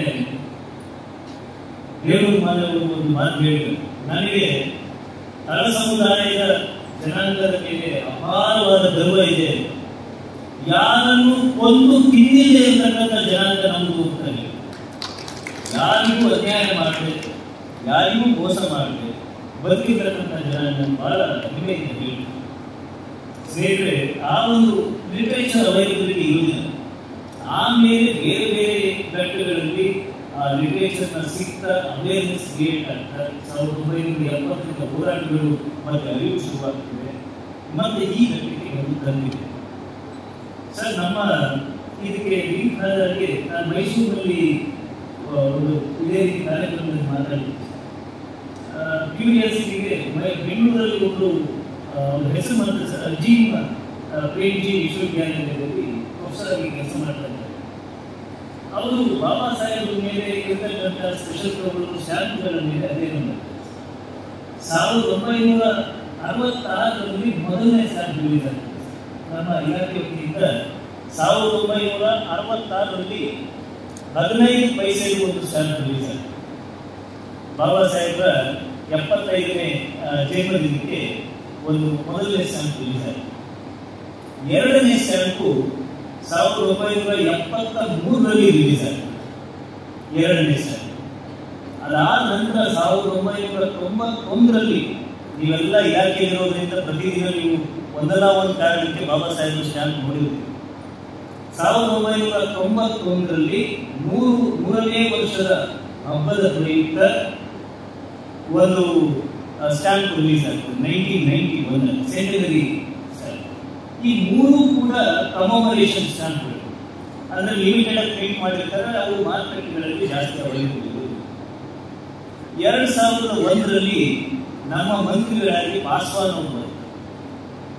ನೋಡಿ, ವಿದ್ಯೆ, ಅರಿವು ಬಂದಾಗ ನಿಮಗೆ ಪ್ರಶ್ನೆ ಮಾಡಲಿಕ್ಕೆ ಸಾಧ್ಯ ಆಗ್ತದೆ, ಅಥವಾ ಅದಕ್ಕೆ ಬೇಕಾದ ರೀತಿ ನಿರ್ದೇಶನಗಳನ್ನ ತಮ್ಮ ಇಲಾಖೆಯಲ್ಲಿ ಇರತಕ್ಕಂಥ ಅಧಿಕಾರಿಗಳಿಗೆ ನೀಡಲಿಕ್ಕೆ ಸಾಧ್ಯ ಇದು ಕಾಕತಾಳೀಯ ಇರ್ಬೋದು ಅಥವಾ ನನ್ನ ಅಸಂಪ್ಷನ್ ಇರ್ಬೋದು ಪಾಸ್ವಾನ್ ಅವರು ಮಂತ್ರಿ ಆಗಿದ್ದಾಗ ಎರಡು ಸಾವಿರದ ಒಂದನೇ ಇಸ್ವಿಯಲ್ಲಿ ಮೊದಲನೇ ಡೆಫಿನೆಟ್ ಸೀರೀಸ್ ಡೆಫಿನೆಟ್ ಸೀರೀಸ್ ಅಂದ್ರೆ ನೀವು ಪ್ರತಿದಿನ ಬಳಸ್ತೀರಲ್ಲ, ಆ ಸ್ಟ್ಯಾಂಪ್ ಎರಡು ಸಾವಿರದ ಒಂದನೇ ಇಸ್ವಿಯಲ್ಲಿ ಓಸು ಮತ್ತೆ ಪಟೇಲ್ ಮತ್ತೆ ಬಾಬಾ ಸಾಹೇಬ್ ಎರಡು ಸಾವಿರದ ಒಂದು ಆದ ನಂತರ ನನ್ನ ಕ್ಯೂರಿಯಾಸಿಟಿ ನೋಡ್ತಾ ಇದ್ದೆ, ಎಷ್ಟು ಮಹಾತ್ಮ ಗಾಂಧಿಯವರು ನೂರ ಐವತ್ತಕ್ಕೂ ಹೆಚ್ಚು ದೇಶಗಳಲ್ಲಿ ಸಾಧ್ಯ ಆ ಒಂದು ಕ್ಯೂರಿಯಾಸಿಟಿ ನೋಡ್ತಾ ಇದ್ದೆ ಯಾರ್ಯಾರು ಹೇಗಿದೆ? ನನಗೆ ಆಸಕ್ತಿಕರ ಇರತಕ್ಕಂಥ ವ್ಯಕ್ತಿಗಳು.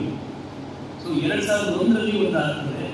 ಅದಾದ ನಂತರ ಎರಡು ಸಾವಿರದ ಒಂಬತ್ತರಲ್ಲಿ ಮತ್ತೆ ರಿಪೀಟ್ ಮಾಡ್ತಾರೆ. ಎರಡು ಸಾವಿರದ ಹದಿನೈದರಲ್ಲಿ ಬಾಬಾ ಸಾಹೇಬ್ ಅವರ ನೂರ ಇಪ್ಪತ್ತೈದನೇ ಜನ್ಮದಿನ ಎರಡು ಸಾವಿರದ ಹದಿನೈದರಲ್ಲಿ ರಿಲೀಸ್ ಮಾಡ್ತಾರೆ. ವಿತ್ ಕಾನ್ಸ್ಟಿಟ್ಯೂಷನ್ ದೀಕ್ಷಾ ಭೂಮಿ ಒಂದು ಸ್ಟ್ಯಾಂಪ್ ರಿಲೀಸ್ ಮಾಡ್ತಾರೆ ಅದಾದ ನಂತರ ಎರಡ್ ಸಾವಿರದ ಇಪ್ಪತ್ತರಲ್ಲಿ ನೆನ್ನೆ ರಿಲೀಸ್ ಆದಂಥ ಕವರಿಗೆ ಒಂದು ಸ್ಟ್ಯಾಂಪ್ ಹಾಕಿದ್ದೀವಿ ನೋಡಿ ಕಾನ್ಸ್ಟಿಟ್ಯೂಷನ್ ಆಫ್ ಇಂಡಿಯಾ ಆ ಸ್ಟ್ಯಾಂಪ್ ರಿಲೀಸ್ ಮಾಡ್ತಾರೆ ಇಷ್ಟು ನಮ್ಮ ಇಲಾಖೆ ವತಿಯಿಂದ ನನಗೆ ಇದು ಖುಷಿಯಾಗಿರ್ತಕ್ಕಂಥ ವಿಚಾರ. ಯಾಕಂದ್ರೆ ಮಹಾತ್ಮ ಗಾಂಧಿಯವರು ಬಿಟ್ಟರೆ ಇಷ್ಟು ಸ್ಟ್ಯಾಂಪ್ಗಳಲ್ಲಿ ಇರ್ತಕ್ಕಂಥ ಒಂದು ಕಾನ್ಸೆಪ್ಟ್ ಆಗಲಿ ಐಡಿಯಾಲಜಿ ಆಗಲಿ ಇದೆಲ್ಲ ಯಾಕೆ ಬರ್ತಾ ಇದೆ? ನೀವು ಗ್ರ್ಯಾಜುವಲ್ ಅನಲೈಸ್ ಮಾಡೋದು. ಬಾಬಾ ಸಾಹೇಬ್ ಇದನ್ನೇ ಹೇಳಿದ್ದು ನೀವು ಯಾಕೆ ಹೇಳುವ ಶಿಕ್ಷಣ ಶಿಕ್ಷಣ ಅನ್ನೋದು ಶಿಕ್ಷಿತರಾಗಿ, ಸಂಘಟಿತರಾಗಿ ಹೋರಾಡಿ ಅಂತ. ಶಿಕ್ಷಣ ಶಿಕ್ಷಿತರಾಗಿ, ಸಂಘಟಿತರಾಗಿ ಹೋರಾಡಿ. ಸೊ ನಿಮ್ಮ ಪಾಲಿನ ಹಕ್ಕುಗಳನ್ನ ಕೇಳಬೇಕು ಅಂತಂದ್ರೆ ಮೊದಲು ಶಿಕ್ಷಣ. ಬಾಬಾ ಸಾಹೇಬ್ ಸುಮಾರು ಅಷ್ಟು ಮೇಧಾವಿ ಪಾಂಡಿತ್ಯವನ್ನು ಯಾವ್ಯಾವ ಸಬ್ಜೆಕ್ಟ್ಗಳಲ್ಲಿ ಪಡ್ಕೊಂಡಿದ್ದು ಎಲ್ಲ ಆಗಿರ್ತಕ್ಕಂಥ ಕಂಟೆಂಪ್ರರಿ ಸಬ್ಜೆಕ್ಟ್ಗಳಲ್ಲಿ ಪಡ್ಕೊಂಡಿದ್ದು ಆಂಥ್ರಪಾಲಜಿ ಆಗಿರ್ಬೋದು, ಅವ್ರಿಗೆ ಇಷ್ಟವಾದ ಸಬ್ಜೆಕ್ಟು ಪೊಲಿಟಿಕಲ್ ಎಕಾನಮಿ ಅಂತ. ಇವತ್ತು ಕೂಡ ನೊಬೆಲ್ ಪ್ರಶಸ್ತಿ ಪಡೆದುಕೊಂಡಿರ್ತಕ್ಕಂಥ ಅಮಾತ್ಯತೆಯನ್ನು ನೆನೆಸ್ಕೊತಾರೆ ಬಾಬಾ ಸಾಹೇಬ್ ಅವರು, ಆ ಕಾಲಘಟ್ಟದಲ್ಲಿ ಜಗತ್ತಿನಲ್ಲೇ ಇದ್ದಂಥ ಅತ್ಯುತ್ತಮ ಎಕನಾಮಿಕ್ಸ್ ಅಂತ ಗುರುತಿಸ್ತಾರೆ ಅಮಾತ್ಯತೆ ನೀವು ಅದೇ ರೀತಿ ಲಾ. ಸರ್, ಲಂಡನ್ನಲ್ಲಿ ಒಂದು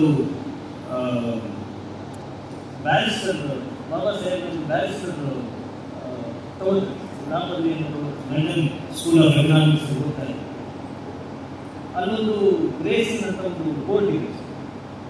ಆ ಕೋರ್ಟಿನಲ್ಲಿ ಬಾಬಾ ಸಾಹೇಬರಿಗೆ ಡೆಡಿಕೇಟ್ ಆಗಿರ್ತಕ್ಕಂಥ ಒಂದು ಭೂಮಿ ಬಾಬಾ ಸಾಹೇಬ್ ಅಲ್ಲಿ ಓದಿದ್ರು ಅನ್ನೋ ಕಾರಣಕ್ಕೆ ಅಲ್ಲೇ ಡೆಡಿಕೇಟ್ ಆಗಿರ್ತಕ್ಕಂಥ ಒಂದು ಭೂಮಿ ಬೇರೆ ಭಾರತದ ಅಥವಾ ವಿಶ್ವದ ಯಾವುದೇ ಪರ್ಸನಾಲಿಟಿಗೆ ಅಂತಹ ಗೌರವವನ್ನು ಸಿಗಲಿಲ್ಲ ಶಿಕ್ಷಣದಿಂದ ಮಾತ್ರ ಈ ಗೌರವ ಪ್ರಾಪ್ತಿ ಇದನ್ನ ತಾವೆಲ್ಲರೂ ನೆನಪಿಟ್ಟು ಹಾಗೆ ಬಾಬಾ ಸಾಹೇಬರು ಮೊದಲು ಈ ಜಾತಿಯ ಉಗಮ ಹೇಗಾಯಿತು ಅನ್ನೋದನ್ನು ಅರ್ಥ ಮಾಡಿದ್ರು. ಜಾತಿಯ ಉಗಮ ಹೇಗಾಯಿತು, ಯಾಕೆ ಇವನ್ನೆಲ್ಲ ಒಂದು ಶೆಡ್ಯೂಲ್ಡ್ ಗ್ರೂಪ್ನಲ್ಲಿ ಇಟ್ಟಿದ್ದಾರೆ? ಟಚಬಲ್ ಅಂಡ್ ಟಚಬಲ್ ಇವೆಲ್ಲ ಆಂಥ್ರಪಾಲಜಿ ದೃಷ್ಟಿಯಿಂದ ಪೊಲಿಟಿಕಲ್ ಸೈನ್ಸ್ ದೃಷ್ಟಿಯಿಂದ ಎಕನಾಮಿಕ್ಸ್ ಇಂದ ಆಳವಾಗಿ ಅಧ್ಯಯನ ಅಧ್ಯಯನ ಮಾಡಿಕೊಂಡಾಗ ನಿಮಗೆಲ್ಲ ಇನ್ಫೀರಿಯಾರಿಟಿ ಕಾಂಪ್ಲೆಕ್ಸ್ ಇಂದ ಬಳಲ್ತಾ ಇದ್ದ ನಿಮಗೆ ಆ ಒಂದು ಸ್ವಾಭಿಮಾನದ ಕೊರತೆ ಇದೆ. ಆ ಸ್ವಾಭಿಮಾನದ ಕೊರತೆಯನ್ನು ನೀಗಿಸೋಕ್ಕೋಸ್ಕರ ನಿಮಗೆಲ್ಲ ಏನಂತ ಕರೀತಾರೆ ಅಂತಂದ್ರೆ, ಅಶೋಕನ ಮೊಮ್ಮಕ್ಕಳು ನೀವು. ನಿಮಗೆಲ್ಲ ಒಂದು ಬದುಕಲಿಕ್ಕೆ ಒಂದು ಉತ್ಸಾಹ ಬರಲಿ ಅಂತ ಅಶೋಕನ ಕ್ರೇಜ್ ಹುಡುಕ್ತಾರೆ ಆರಿಜಿನ್ ಹುಡುಕ್ತಾರೆ. ಅಶೋಕನ ಕುಲದವರು ಅಂತ ಒಂದು ಆರಿಜಿನ್ ಹುಡುಕ್ತಾರೆ. ಸಾರು ಸಂವಿಧಾನ ಓದ ಪುಸ್ತಕದಲ್ಲಿ ಹೇಳ್ತಾರೆ, ನೀವು ಪೀಠಿಗೆಲ್ಲ ಗಮನಿಸಿ ಪೀಳಿಗೆ ಶುರುವಾಗ್ತದೆ, ಏನಂತ we the people of India ಅದು ಶುರುವಾಗಲಿಕ್ಕಿಂತ ಮುಂಚೆ ಪೀಳಿಗೆಯನ್ನು ನೀವು ಕರೆಕ್ಟಾಗಿ ಗಮನಿಸಿದ್ರೆ ಪೀಳಿಗೆ ಶುರುವಾಗಲು ಅಶೋಕನ ಚಿತ್ರದ ಮುಖಾಂತರ ಆ ಪೇಜಿನಲ್ಲಿ ಅಶೋಕನ ಚಕ್ರದ ಚಿತ್ರ. ನೀವೆಲ್ಲ ಈ ರಾಜ್ಯವನ್ನ, ಈ ದೇಶವನ್ನ ಆಳದಂತ ಅಶೋಕನ ವಂಶಸ್ಥರು ಅನ್ನೋ ಒಂದು ಪ್ರೈಡ್ ಅನ್ನು ಪ್ರೌಢನ ಕ್ರಿಯೇಟ್ ಮಾಡ್ತಾರೆ ಅದಕ್ಕೆ ದೊಡ್ಡದೇ ಆದ ಒಂದು ಥಿಯರಿನ ಕಟ್ಟಿದ್ದಾರೆ ಆಳವಾದ ಅಧ್ಯಯನ, ಅಂತರ್ ಸಬ್ಜೆಕ್ಟ್ ಅಂತರ್ಶಿಸ್ತೀಯ ಅಧ್ಯಯನದ ಮುಖಾಂತರ ಅದನ್ನ ಸಾಹೇಬ್ ಅದನ್ನು ಕಟ್ಕೊಟ್ಟು ಅಷ್ಟಕ್ಕೆ ಸುಮಾರುವುದಿಲ್ಲ ಈ ಸಾವಿರದ ಒಂಬೈನೂರ ಹದಿನಾರರಿಂದ ಸಾವಿರದ ಒಂಬೈನೂರ ಐವತ್ತಾರನೇ ಇಸ್ವಿಗಳಲ್ಲಿ ಸತತವಾಗಿ ತಮ್ಮ ಓದಿದ್ದ ತಮ್ಮ ನಾಲೆಡ್ಜಿನ ತಮಗೆ ಇರ್ತಕ್ಕಂಥ ಇನ್ಫ್ಲೂಯೆನ್ಸನ್ನ ಈ ಒಂದು ಅಪ್ಲಿಫ್ಟ್ಮೆಂಟ್ಗೆ ಬಳಸಿ ಅಲ್ಲಿ ಇರ್ತಕ್ಕಂಥ ಆಡಳಿತದಲ್ಲಿ ಇರ್ತಕ್ಕಂಥ ವಿವಿಧ ಆಗಮಾನ ಆಗು ಹೋಗುಗಳನ್ನ ಅಬ್ಸರ್ವ್ ಮಾಡಿ ಬ್ರಿಟಿಷರು ಇದ್ದಂಥ ಕಾಲ ಅದು. ಬ್ರಿಟಿಷರು ಇದ್ದಂಥ ಕಾಲದಲ್ಲಿ ಸ್ವಾತಂತ್ರ್ಯ ಚಳುವಳಿ ನಡ್ತ ನಡೀತಾ ಇರತಕ್ಕಂಥ ಕಾಲದಲ್ಲಿ ಅದನ್ನು ಬಹಳ ಎಲ್ಲ ಅಲ್ಲಿ ಇರ್ತಕ್ಕಂಥ ಎಲ್ಲ ಲೀಡರ್ಗಳು ಒಂದು ಕಾಲಸಿಗೆ ಹೋರಾಟ ಮಾಡ್ತಾ ಇರ್ತಾರೆ ದೇಶಕ್ಕೆ ಸ್ವಾತಂತ್ರ್ಯ ಹೋರಾಟ. ಬಾಬಾ ಸಾಹೇಬರಿಗೆ ಈ ಈ ಸುಮಾರು ಲಕ್ಷಾಂತರ ಮಂದಿಗೆ ಇದು ವ್ಯತ್ಯಾಸಕ್ಕೆ ಬರೋದಿಲ್ಲ. ಈಗಲೂ ಕೂಡ ನೀವು ಒಬ್ಬರ ಮನೆಯಲ್ಲಿ ಜೀವನದಾರರಿಗೆ ಕೆಲಸ ಮಾಡಿರ್ತಾ ಸ್ವಾತಂತ್ರ್ಯ ಬಂದ ಮೇಲೂ ಅದು ಕಂಟಿನ್ಯೂ ಆಗುವುದಿಲ್ಲ ಅನ್ನೋದಕ್ಕೆ ನಾವು ಗ್ಯಾರಂಟಿ ಅಂತ ಒಂದು ಪ್ರಶ್ನೆ ಅವ್ರದ್ದು ಅವರೇ ಆವಾಗ ಅವರು ಯೋಚನೆ ಮಾಡ್ತಾರೆ, ಸಾವಿರದ ಒಂಬೈನೂರ ಹದಿನಾರರಿಂದ ಸತತವಾಗಿ ಯೋಚನೆ ಮಾಡ್ಕೊಂಡು ಹೇಗೆ ಎಲ್ಲರಿಗೂ ಒಂದು, ಬದುಕಿನ ಘನತೆಯನ್ನು ಕೊಡಿಸಲು ಕೊಡ್ತಕ್ಕಂಥದ್ದು ಹೇಗೆ ಅಂತ ಯೋಚನೆ ಮಾಡ್ತಾರೆ. ಆವಾಗ ಇದ್ದಂಥ ಬ್ರಿಟಿಷಿನ ಎಲ್ಲ ಮುಖ್ಯಸ್ಥರ ಅಥವಾ ವಿವಿಧ ಕಮಿಟಿಗಳು ಬಂದಾಗ ಬಾಬಾ ಸಾಹೇಬ್ ಹೋಗಿ ರೆಪ್ರೆಸೆಂಟ್ ಮಾಡಿ ಸಾವಿರದ ಒಂಬೈನೂರ ಹತ್ತೊಂಬತ್ತು ಹತ್ತೊಂಬತ್ತು ನೂರ ಹತ್ತೊಂಬತ್ತರಲ್ಲಿ ಮಾಂಟೇರಿಯೋ ಚಲನಚಿತ್ರ ಕಮಿಟಿ ಅಂತ ಬಂತು ಇದು ಇವತ್ತು ಸರ್ ನಾವು ಇಡೀ ದೇಶದಾದ್ಯಂತ ಪ್ರಜಾಪ್ರಭುತ್ವದ ಹಬ್ಬವನ್ನು ನಾವು ಇವತ್ತು ಸೆಲೆಬ್ರೇಟ್ ಮಾಡ್ತೇವೆ. ಒಂದು ಭಾಗ ಕರ್ನಾಟಕದ ಮುಂದಿದೆ, ಇನ್ನೊಂದು ಭಾಗ ಇದೆ. ಇವತ್ತು ನೀವು ಏನು ಓಟ್ ಹಾಕಿದ್ದೀರಿ? ಎಲ್ಲರಿಗೂ ಓಟಿನ ಹಕ್ಕು ಮತ್ತು ಪ್ರತಿಯೊಬ್ಬರು C P M minister vote ಒಂದೇ ವ್ಯಾಲ್ಯೂ ತಾರಾ ಮೇಡಮ್ ಓಟು ಒಂದೇ ವ್ಯಾಲ್ಯೂ ಇಲ್ಲಿ ಮುಂದೆ ಕುಳಿತಿರ್ತಕ್ಕಂಥ ವ್ಯಕ್ತಿಯ ಒಂದೇ ವ್ಯಾಲ್ಯೂ ಒಂದು ಓಟಿಗೆ ಒಂದೇ ವ್ಯಾಲ್ಯೂ ಇದು ಈ ರೀತಿ ಇರಲಿಲ್ಲ. ಕಾನ್ಸ್ಟಿಟ್ಯೂಷನ್ ಅಲ್ಲಿ ಅವರು ಸ್ಟಡಿ ಮಾಡಿದ್ರು. ಬಹಳ ನೀವು ಆ ಸಬ್ಜೆಕ್ಟ್ನ ಹೇಗೆ ಎಲೆಕ್ಟೋರಲ್ ರಿಫಾರ್ಮ್ಸ್ ಭಾರತದಲ್ಲಿ ಆಯಿತು. ಓಟಿಂಗ್ ಬರ್ತಿತ್ತಲ್ಲ, ಓಟ್ ಮತ ಚಲಾವಣೆ ಸಾವಿರದ ಒಂಬೈನೂರ ಒಂಬತ್ತು ನಂತರ ಓಟ್ ಹಾಕಲಿಕ್ಕೆ ಕೆಲವರು ಸಾವಿರದ ಇನ್ನೂರ ಒಂಬತ್ತೊಂದು ನಂತರ ಕೆಲವು ಮಂದಿಗಳಿಗೆ ಓಟ್ ಹಾಕಲಿಕ್ಕೆ ನಿಮ್ಮದೇ ಸರ್ಕಾರ ಆಯ್ಕೆ ಮಾಡಿಕೊಳ್ಳುವುದು ಸ್ವ- ಸ್ವಲ್ಪ ಬೆಳವಣಿಗೆಯಲ್ಲಿ ನಡೀತಾ ಇತ್ತು. ಸ್ವಾತಂತ್ರ್ಯ ಬರಲಿಕ್ಕಿಂತ ಮುಂಚೆ. ಆವಾಗ ಯಾರು ಓಟ್ ಹಾಕ್ಬೋದು, ಯಾರು ಒಂದು ಐದು ಎಕರೆ ಜಮೀನಿದ್ರೆ ಇಷ್ಟು ದುಡ್ಡಿದ್ರೆ, ಇಂಥ ಒಂದು ಉನ್ನತ ಕುಲಕ್ಕೆ ಸೇರಿದ್ರೆ ಇವ್ರು ಮಾತ್ರ ಓಟ್ ಹಾಕುವಂತ ಒಂದು ಅಧಿಕಾರ ಇರುತ್ತದೆ ಬಾಬಾ ಸಾಹೇಬ್ ಅರ್ಥ ಮಾಡಿಕೊಂಡು ಸಾವಿರದ ಒಂಬೈನೂರ ಹತ್ತೊಂಬತ್ತರಲ್ಲಿ ಸೌತ್ ಬರುವಂತ ಒಂದು ಕಮಿಷನ್ ಬಂತು. ಆ ಕಮಿಷನ್ ಮುಂದೆ ಹೋಗಿ ಮೊದಲನೇ ಬಾರಿಗೆ ಪ್ರಸ್ತಾವನೆ ಮಂಡಿಸ್ತಾರೆ.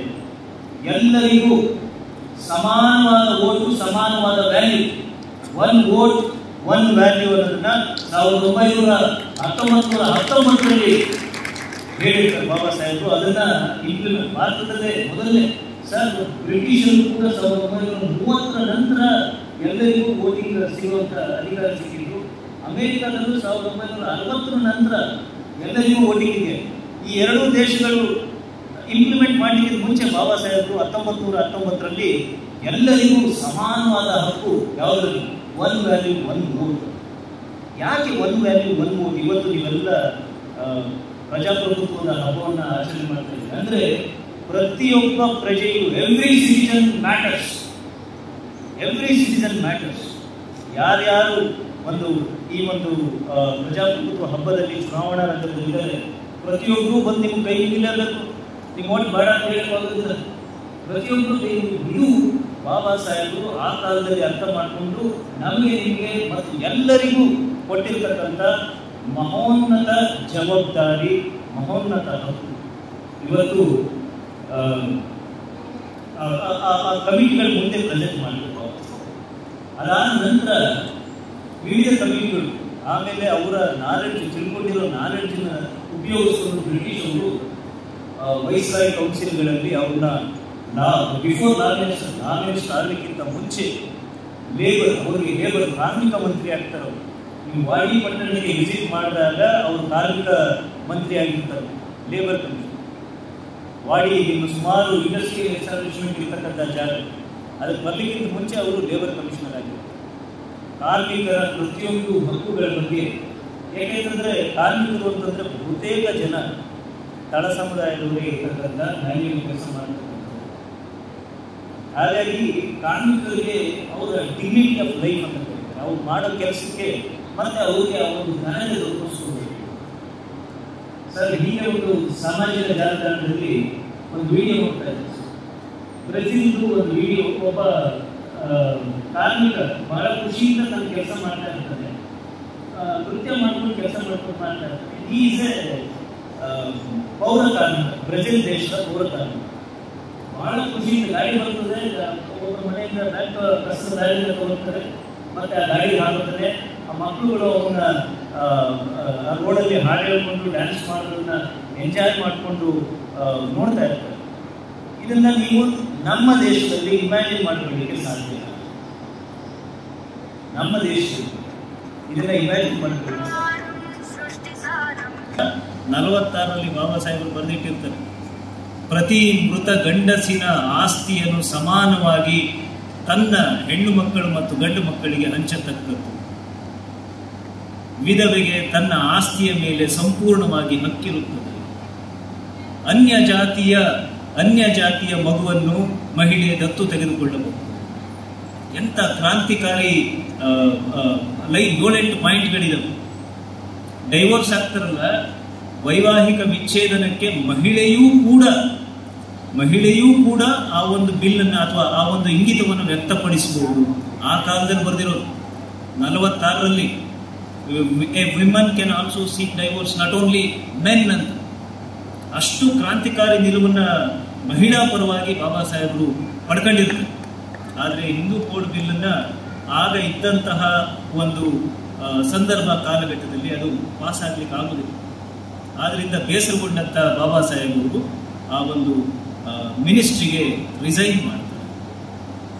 ರಿಸೈನ್ ಮಾಡ್ತಾರೆ. ಮತ್ತೆ ಸಾವಿರದ ಒಂಬೈನೂರ ಐವತ್ತ ಎರಡರಲ್ಲಿ ಎಲೆಕ್ಷನ್ ಕಂಟೆಸ್ಟ್ ಮಾಡ್ತಾರೆ sir Baba Saheb but he he got defeated Baba ಸಾಹೇಬರು ಸೋಲ್ತಾರೆ. ಇಂಥ ಒಂದು ಪ್ರತಿಭೆ ಸೋಲ್ಬಾರ್ದು ಅನ್ನೋ ಕಾರಣಕ್ಕೆ ರಾಜ್ಯಸಭೆಗೆ ಮತ್ತೆ ಆರಿಸ್ಕೊತಾರೆ ಆಗ ಇರ್ತಕ್ಕಂಥ ಐ ಫರ್ಗಾಟ್ ದಿ ಪಾರ್ಟಿ ಆರಿಸ್ಕೊತಾರೆ ಇದನ್ನು ಯಾಕೆ ಹೇಳ್ತಾ ಇದ್ದೀನಿ ಅಂತಂದರೆ, ಆ ಒಂದು ಎಲೆಕ್ಟೋರಲ್ ರಿಫಾರ್ಮ್ಸಲ್ಲಿ ಡಿಬೇಟ್ ನಡಿಬೇಕಾದ್ರೆ ಸಾವಿರದ ಒಂಬೈನೂರ ಮೂವತ್ತ ಎರಡರಲ್ಲಿ ರ್ಯಾಮ್ಸೆ ರ್ಯಾಮ್ಸೆ ಮೆಕನ್ ರ್ಯಾಮ್ಸೆ ಅಂತ ಒಬ್ಬರು ಇರ್ತಾರೆ. ಅವ್ರ ಮುಂದೆ ಬಾಬಾ ಸಾಹೇಬರು ಎಪ್ಪತ್ತು ಕ್ಷೇತ್ರಗಳಲ್ಲಿ ಜಾಯಿಂಟ್ ಎಲೆಕ್ಟ್ರೇಟ್ ಬೇಕು ಅಂತ ಕೇಳಿದ್ರು ಎಪ್ಪತ್ತು ಕ್ಷೇತ್ರಗಳು ಆವಾಗ ಆ ಕಾಲಘಟ್ಟದಲ್ಲಿ ಬಹಳ ತಲ್ಲಣಕ್ಕೆ ಈಡಾಗಿರ್ತಕ್ಕಂಥ ಸಬ್ಜೆಕ್ಟ್ ಮಹಾತ್ಮ ಗಾಂಧಿಯವರು ಆ ಒಂದು ಅಭಿಪ್ರಾಯವನ್ನು ಒಪ್ಪೋದಿಲ್ಲ. ಮಹಾತ್ಮ ಗಾಂಧಿಯವರು ಮತ್ತೆ ಅಮರಣಾಂತ ಉಪವಾಸಕ್ಕೆ ಕೂರ್ತಾರೆ. ಅಮರಣಾಂತ ಉಪವಾಸ ಕೂತ ನಂತರ ಸುಮಾರು ಒತ್ತಡಗಳಿಗೆ ಬಾಬಾ ಸಾಹೇಬರು ಒಳಗಾಗಿ ಒಂದು ಪೂನಾ ಪ್ಯಾಕ್ಟ್ ಅಂತ ತಾವೆಲ್ಲ ಓದಬೇಕು. ಅದಕ್ಕೆ ಸಹಿ ಆಗುತ್ತೆ. ಆ ಎಪ್ಪತ್ತೆಂಟು ಸೀಟ್ಗಳ ಬದಲಾಗಿ ನೂರ ನಲವತ್ತು ಸೀಟ್ಗಳನ್ನ ನಿಮ್ಗೆ ಕೊಡ್ತೀವಿ ಅಂತ ಮಹಾತ್ಮ ಗಾಂಧಿ ಅವರು ಹೇಳ್ತಾರೆ. ಆ ಕಾನ್ಸ್ಟಿಟ್ಯೂಷನ್ ಬರಿಬೇಕಾದ್ರೂ ಲಾಬಿ ಮಾಡ್ತಾರೆ ಇನ್ನೊಬ್ಬರ ಮುಖಾಂತರ ಬಾಬಾ ಸಾಹೇಬ್. ಸರ್ದಾರ್ ನಾಗಪ್ಪ ಅಂತ ನಾನು ಕರ್ನೂಲು ಬಂದಾಗ ನನಗೆ ಯಾರೋ ಹೇಳಿದ್ರು ಸರ್. ನನಗೆ is an elected member from the Kurnool I was not aware till now ಅವರ ಹೆಸರು ಸರ್ದಾರ್ ನಾಗಪ್ಪ ಅಂತ. ಮೊದಲನೇ ಬಾರಿ ನಾನು ನನಗೆ ನಲವತ್ತು ವರ್ಷ, ನಾನು ಮೊದಲನೇ ಬಾರಿ ಈಗ ಕೇಳ್ತಾ ಇದ್ದೀನಿ ನಮ್ಮ ಹೆಸರು. ಎಷ್ಟು ಇತಿಹಾಸಗಳು ಉದುಗಿ ಹೋಗಿರ್ತದೆ ಅಂತ. ಹಾಗೆ ಸರ್ ಬೀದರಲ್ಲಿ ಒಬ್ರು ಬಿ ಶ್ಯಾಮ್ ಅಂತ ಒಬ್ರು ಬಾಬಾ ಸಾಹೇಬ್ ಅಸೋಸಿಯೇಟ್ ಇದ್ರು ಸರ್. ವೆರಿ ಸ್ಟ್ರಾಂಗ್ ಪರ್ಸನ್ ಈ ಸರ್ದಾರ್ ನಾಗಪ್ಪ ಅವರು ಸಾವಿರದ ಒಂಬೈನೂರ ನಲವತ್ತೈದರಲ್ಲಿ ಪಟೇಲ್ ಅಮೆಂಡ್ಮೆಂಟ್ಗಳು ಸರ್ ಹೇಳಿದ್ರು ಸುಮಾರು ಏಳು ಸಾವಿರ ತಿದ್ದುಪಡಿಗಳು ಆಯಿತು. ಆ ಸಂದರ್ಭದಲ್ಲೂ ಕೂಡ, ಆ ಸಂದರ್ಭದಲ್ಲೂ ಕೂಡ ಈ ಒಂದು ಕಾನ್ಸ್ಟಿಟ್ಯೂಯೆನ್ಸಿಗಳಲ್ಲಿ ಹೇಗೆ ಯಾವುದು ರಿಸರ್ವ್ ಕಾನ್ಸ್ಟಿಟ್ಯೂಯೆನ್ಸಿಗಳಲ್ಲಿ ಹೇಗೆ ಆಯ್ಕೆ ಮಾಡ್ಕೋಬಹುದು ಅನ್ನೋದ್ರ ಬಗ್ಗೆ ಒಂದು ಚರ್ಚೆ ಆಗಬೇಕು, ತಿದ್ದುಪಡಿ ಆಗಬೇಕು ಅಂತ ಹೇಳ್ತಾರೆ. ಆ ದಿನ ಬಾಬಾ ಸಾಹೇಬರು ಅಸೆಂಬ್ಲಿಯಲ್ಲಿ ಇರೋದಿಲ್ಲ, ಲೋಕಸಭೆಯಲ್ಲಿ ಇರೋದಿಲ್ಲ. ಯಾವುದು ಮೀಟಿಂಗ್ ಅಲ್ಲಿ ಇರ್ತಾರೆ ಈ ಒಂದು ಪ್ರಸ್ತಾವವನ್ನ ಆಗ ಪಟೇಲ್ ಅವರು ಮತ್ತೆ ಅಲ್ಲಿರ್ತಕ್ಕಂಥವ್ರು ಆ ಕಾಲಘಟ್ಟದ ಅನುಗುಣವಾಗಿ ಒಪ್ಕೊಳ್ಳೋದಿಲ್ಲ ಅಲ್ಲೂ ಕೂಡ ಬಿದ್ದು. ಆಮೇಲೆ ಇನ್ನೊಂದು ಕ್ಯೂರಿಯಸ್ ಅಂಶ ಸರ್ ನಾನು ನೋಡಿದ್ದು. ನಾಲ್ಕು ಜನ ಈ ಒಂದು ಪ್ರಪೋಸಲ್ನ ಅಸೆಂಬ್ಲಿಗೆ ಇಡ್ತಾರೆ. ಆ ನಾಲ್ಕು ಜನಕ್ಕೆ ನೆಕ್ಸ್ಟ್ ಎಲೆಕ್ಷನ್ ಟಿಕೆಟ್ ಇರೋದು. That is the last representation ಅವ್ರು ಟಿಕೆಟ್ ಕೊಡಲಿಲ್ಲ ಅನ್ನೋ ಕಾರಣಕ್ಕೆ ನೆಕ್ಸ್ಟ್ ಇಂಡಿಪೆಂಡೆಂಟಾಗಿ ಗೆಲ್ತಾರೆ. ಗೆಟ್ ಇಂಡಿಪೆಂಡೆಂಟ್ ಆಗಿ ನಿಲ್ತಾರೆ. They get defeated and vanish ಇದು ಆ ಒಂದು ಘಟ್ಟದ, ಕಾಲಘಟ್ಟದ ಮುಖ್ಯವೋ ಅಷ್ಟೇ ಮುಖ್ಯ ಮಹಿಳೆಯರಿಗೂ ಕೂಡ ಅಂತ ಅಂಬೇಡ್ಕರ್ ಅವರು ಹೇಳಿದ್ದಾರೆ. ಶಿಕ್ಷಣಕ್ಕೆ ಎಷ್ಟು ಆದ್ಯತೆ ಕೊಡಬೇಕು? ಇದರಲ್ಲಿ ಮಹಿಳೆಯರು ಮತ್ತು ಪುರುಷರು ಅನ್ನೋ ಭೇದ ಭಾವ ಇಲ್ಲ. ಒಂದು ಸಣ್ಣ ಇನ್ಸಿಡೆಂಟ್ ಒಂದು ಹೇಳ್ತೀನಿ. ನಮ್ಮ ಅಂಬೇಡ್ಕರ್ ಅವರ ವಿದ್ಯಾಹರ್ತೆ ಅಂತ ನಮಗೆಲ್ಲರೂ ಗೊತ್ತಿ- ಗೊತ್ತಿರುವಂಥ ವಿಷಯ. ಲಂಡನ್ನಲ್ಲಿ ಒಂದು ಲೈಬ್ರರಿಯಲ್ಲಿ ಕುತ್ಕೊಂಡು ಓದ್ತಾ ಇರ್ತಾರೆ. ಲಂಚ್ ಬ್ರೇಕ್ ಆಗಿ, ಬರುತ್ತೆ. ಲಂಚ್ ಬ್ರೇಕ್ ಕೊಟ್ಟಾಗ ಪ್ರತಿಯೊಬ್ಬರು ಎದ್ದು ಹೋಗಿ ಕ್ಯಾಂಟೀನ್ಗೆ ಊಟ ಮಾಡ್ಲಿಕ್ಕೆ ಹೋಗ್ತಾರೆ. ಆದರೆ ಅಂಬೇಡ್ಕರ್ ಅವರು ಅಲ್ಲೇ ಲೈಬ್ರರಿಯಲ್ಲಿ ಕೂತ್ಕೊಂಡು ತಮ್ಮ ಹತ್ರ ಇದ್ದ ಒಂದು ಸ್ವಲ್ಪ ಬ್ರೆಡ್ಡನ್ನು ತಿಂತಿರ್ತಾರೆ. ಅದನ್ನು ನೋಡಿ ಲೈಬ್ರರಿಯನ್ ಅವ್ರ ಹತ್ರ ಬಂದು ಅವರಿಗೆ ಜೋರು ಮಾಡಿ ಬೈದು ಲೈಬ್ರರಿ ಒಳಗೆ ನೀನು ತಿಂತಾ ಇದೆಯಲ್ಲ ನಿನಗೆ ಎಷ್ಟು ಧೈರ್ಯ ಅಂತ ಹೇಳಿ ನಿನಗೆ ಪೆನಲ್ಟಿ ಹಾಕ್ತೀನಿ, ನಿನಗೆ ಫೈನ್ ಹಾಕ್ತೀನಿ ಅಂತ ಹೇಳ್ತಾರೆ.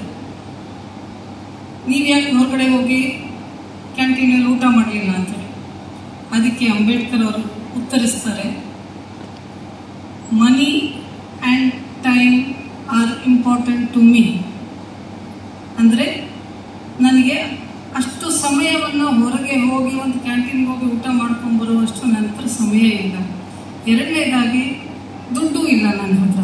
ನಮ್ಮೆಲ್ಲರಿಗೂ ಗೊತ್ತಿರೋ ಹಾಗೆ ಅವರ ಒಂದು ವಿದ್ಯಾಭ್ಯಾಸಕ್ಕೆ ಸೊ ಮಹಾರಾಜರು ಗೈಕ್ವಾಡ್ನವರು ಮತ್ತು ಸುಮಾರು ಜನ ಅವ್ರಿಗೆ ಸಹಾಯ ಮಾಡಿದ್ದಾರೆ. ಈ ಒಂದು ಸನ್ನಿವೇಶದಲ್ಲಿ ಅವರು ಆ ಲೈಬ್ರರಿಯನ್ಗೆ ಒಂದು ವಿಸ್ತರಿಸಿ ಹೇಳ್ತಾರೆ. ನಾನು ಎಷ್ಟು ಸ್ಟ್ರಗಲ್ ಮಾಡಿ ಈ ಒಂದು ಶಿಕ್ಷಣ ಪಡೆಯೋದಕ್ಕೆ ನಾನು ಲಂಡನ್ಗೆ ಬಂದಿದ್ದೀನಿ. ನೀವು ನೋಡಿದ್ರೆ ನನಗೆ ಈ ರೀತಿ ಹೇಳ್ತೀರಿ. ಅಂತ ಒಂದು ಸಣ್ಣದಾಗಿ ವಿಸ್ತರಿಸಿ ಹೇಳಬೇಕಾದ್ರೆ ಆ ಲೈಬ್ರರಿಯನ್ ಹೇಳ್ತಾರೆ from tomorrow you need not sit here you will share lunch with me ಅಂತ ಹೇಳ್ತಾರೆ.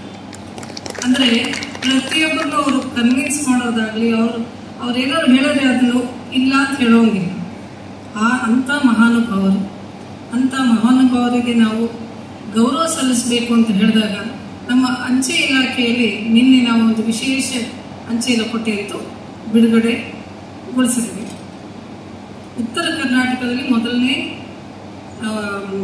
ಎನ್ಕರೇಜಲ್ಲಿ ಮೊದಲನೇ ಸ್ಪೆಷಲ್ ಕವರ್ ಇಂಥ ಒಂದು ಸ್ಪೆಷಲ್ ಕವರ್ಸ್ನ ಇನ್ನು ಮುಂದೆ ನಾವು ಇನ್ನೂ ಒಂದಷ್ಟು ಥೀಮ್ ಹುಡುಕಿ ಮತ್ತು ಈವೆಂಟನ್ನು ಹುಡುಕಿ ಮಾಡಬೇಕು ಅಂತ ಹೇಳಿ ನಿನ್ನೆನೇ ಆಶಿಸಿದ್ರು ನಮ್ಮ ಸಂದೇಶ ಮಹಾದೇವಪ್ಪ ಸರ್ ಒಂದು ಸುಂದರವಾದ ಒಂದು ವಿಷಯ ಒಂದು ಹೇಳ್ಬಿಡ್ತೀನಿ. ನಮ್ಮ ಸಂದೇಶ್ ಮಹಾದೇವಪ್ಪ ಸರ್ ಪ್ರತಿಯೊಂದು ಈವೆಂಟ್ ಇರ್ಬೋದು, ಯಾವುದೇ ಒಂದು ಕಾರ್ಯಕ್ರಮ ಇರ್ಬೋದು ಪುಸ್ತಕಗಳನ್ನೇ ಕೊಡಬೇಕು ಅಂತ ಒಂದು ಪ್ರಾಕ್ಟೀಸನ್ನು ಶುರು ಮಾಡಿದರು ಅದು ನಿಜವಾಗ್ಲೂ ನನ್ನ ಮನವನ್ನು ಅಷ್ಟು ಮುಟ್ಟಿದೆ ಅಂತ ಹೇಳಿದ್ರೆ ರೀಡಿಂಗ್ ಅನ್ನೋ ಅಭ್ಯಾಸ ಇನ್ನೂ ಹೆಚ್ಚಿಗೆ ಮಾಡಬೇಕು ಅನ್ನೋ ಒಂದು ಆಸೆ ಕೂಡ ಬಂತು. ನಾವು ಎಷ್ಟು ಓದ್ತೀವೋ ಅಷ್ಟು ಶಿಕ್ಷಣ ನಮಗೆ ಉಪಯೋಗಕ್ಕೆ ಬರುತ್ತೆ. ಹೇಗೆ? ಎಷ್ಟು ಶಿಕ್ಷಿತರಾಗ್ತೀರಿ, ಅಷ್ಟೇ ನಮ್ಮ ಮೌಲ್ಯಗಳು, ನಮ್ಮ ತತ್ವಗಳು ಕೂಡ ಅದ್ರ ಜೊತೆಗೆ ಜೊತೆಗೆ ಬರುತ್ತೆ ಅಂಬೇಡ್ಕರ್ ಅವ್ರಿಗೆ ನಾವು ಗೌರವ ಕೊಡಬೇಕು ಅಂತ ಹೇಳಿದ್ರೆ ಅವರ ಮಾರ್ಗದರ್ಶನವನ್ನು ನಾವು ಅನುಸರಿಸಬೇಕು. ಅವರ ತತ್ವಗಳನ್ನು ನಾವು ಅನುಸರಿಸಬೇಕು. ಇಷ್ಟೇ. ಇನ್ನೊಂದು ಒಳ್ಳೆ ಮಾತು ಹೇಳಿದ್ರು, ನಮ್ಮ C P M ji sir, ಸಂವಿಧಾನ ಓದುವಂಥ ಪುಸ್ತಕದಿಂದ ಪೂರ್ತಿಯಾಗಿ ನಾವೇನು ಸಂವಿಧಾನ ತಿಳ್ಕೊಳ್ಳುವಂಥ ಅಗತ್ಯ ಇಲ್ಲದೇ ಇದ್ರು ಎಷ್ಟು ತಿಳ್ಕೋಬೇಕು, ಎಷ್ಟು ತಿಳಿಯಬೇಕು ಅನ್ನೋದಾದ್ರೂ ನಮಗೆ ಗೊತ್ತಿರಬೇಕು ನೀವೆಲ್ಲರೂ ಮೈ ಓನ್ಲಿ ರಿಕ್ವೆಸ್ಟ್ ನಮ್ಮ ಮಕ್ಕಳಿರ್ಬೋದು, ನಮ್ಮ ಫ್ಯಾಮಿಲಿ ಮೆಂಬರ್ಸ್ ಇರ್ಬೋದು, ಎಲ್ಲರಿಗೂ ರೀಡಿಂಗ್ ಅಭ್ಯಾಸವನ್ನು ಮಾಡ್ಕೊಳ್ಳಿ ಅಂತ ಹೇಳಿ ಒಂದು ಇದನ್ನು ಹೇಳ್ತಾ ಬರಬೇಕು. ನಾವು ಕೂಡ ಓದೋದನ್ನು ಕಂಟಿನ್ಯೂಸ್ಲಿ ಓದಬೇಕು. ಈ ಓದ್ತಾ ಇರೋದ್ರಿಂದ ನಮಗೆ ಎಷ್ಟು ವಿಷಯಗಳು ತಿಳಿಯ ಬರುತ್ತೆ ನಮ್ಮ ಸಂದೇಶ ಮಹಾದೇವ ಸರು ಇತಿಹಾಸದಲ್ಲಿ ಎಲ್ಲಿ ಒಂದೊಂದು ಈವೆಂಟ್ಗಳನ್ನ ತಗೊಂಬಂದು ತಗೊಂಡು ಜೋಡಿಸಿ ಜೋಡಿಸಿ ಹೇಳ್ತಾ ಇದ್ರು. ಇದು ಹೇಗೆ ಸಾಧ್ಯ? ಸರ್ ಬಹಳ ಚೆನ್ನಾಗಿ ರೀಡಿಂಗ್ ಮಾಡ್ತಾರೆ. ಈ ಒಂದು ಒಳ್ಳೆ ಗುಣಗಳನ್ನ ಕೂಡ ನಾವು ಅಳವಡಿಸ್ಕೋಬೇಕು ನಮ್ಮ ಜೀವನದಲ್ಲಿ. ಅಂಬೇಡ್ಕರ್ ಅವರು ತಮ್ಮ ಇಡೀ ಜೀವನನ ಮುಡುಪಾಗಿಟ್ಟು ಯಾತಕ್ಕೋಸ್ಕರ ನಮ್ಮೆಲ್ಲರಿಗೂ ಗೊತ್ತು ಏನು ಕಾರಣ ಅಂತ ಹೇಳಿ.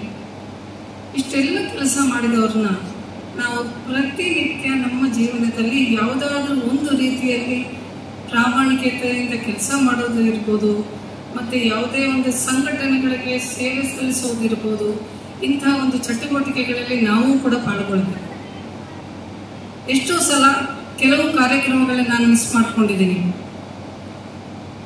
ನಮ್ಮ ಸಿ ಪಿ ಎಂ ಸರ್ ಕೇಳ್ತಾ ಇದ್ರು, ಮಹಿಳೆಯರು ಬಹಳ ಕಡಿಮೆ ಕಾಣಿಸ್ತಿದ್ದಾರೆ ಅಂತ ಹೇಳಿ.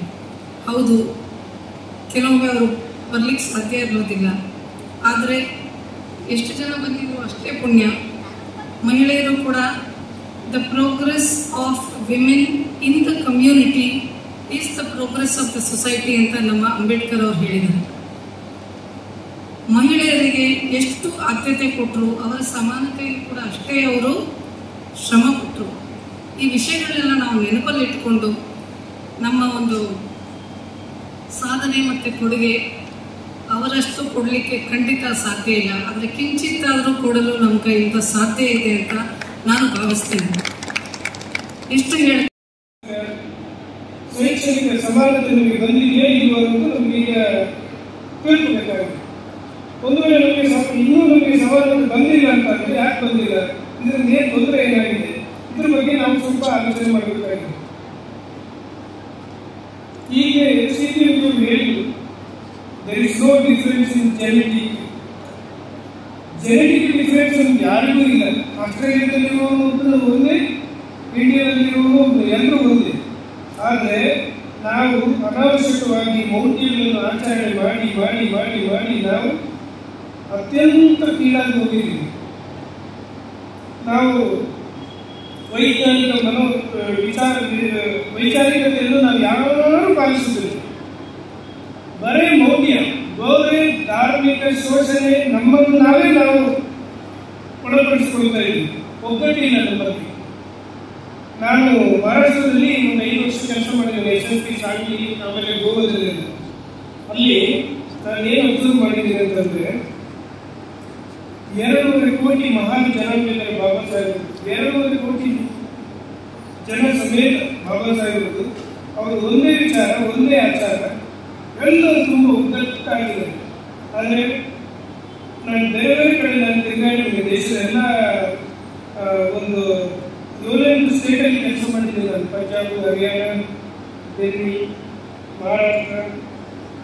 ಆದರೆ ಬೇರೆ ಕಡೆ ನಾನು ಏನು ಅಬ್ಸರ್ವ್ ಮಾಡಿದ್ದೀನಿ ಅಂತಂದ್ರೆ ಒಬ್ಬರಿಗೆ ಎಲ್ಲೂ ಇಲ್ಲ ನಾವು ಮೂಢನಂಬಿಕೆ, ಮೂರ್ತಿಯ ಆಚರಣೆ ಮಾಡಿ ಮಾಡಿ ಧಾರ್ಮಿಕ ಶೋಷಣೆಯನ್ನು ನಾವು ಆದಷ್ಟು ನಮ್ಮನ್ನು ತಿಂದು ಹಾಕ್ತಾ ಇದೆ ಅಷ್ಟು ಬೇರೆ ಎಲ್ಲಿ ವಿದ್ಯಾವಂತರು ತುಂಬ ಇದ್ದಾರೆ ಅಲ್ಲಿ ಸಮಾನತೆ ಎಲ್ಲರಿಗೂ ಇದೆ.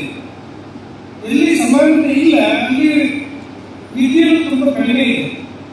ಆದ್ದರಿಂದ ನಾವು ಆದಷ್ಟು ಧಾರ್ಮಿಕ ವಿಚಾರಗಳನ್ನು ಸ್ವಲ್ಪ ದೂರ ಇರುವುದು ಒಳ್ಳೆಯದು.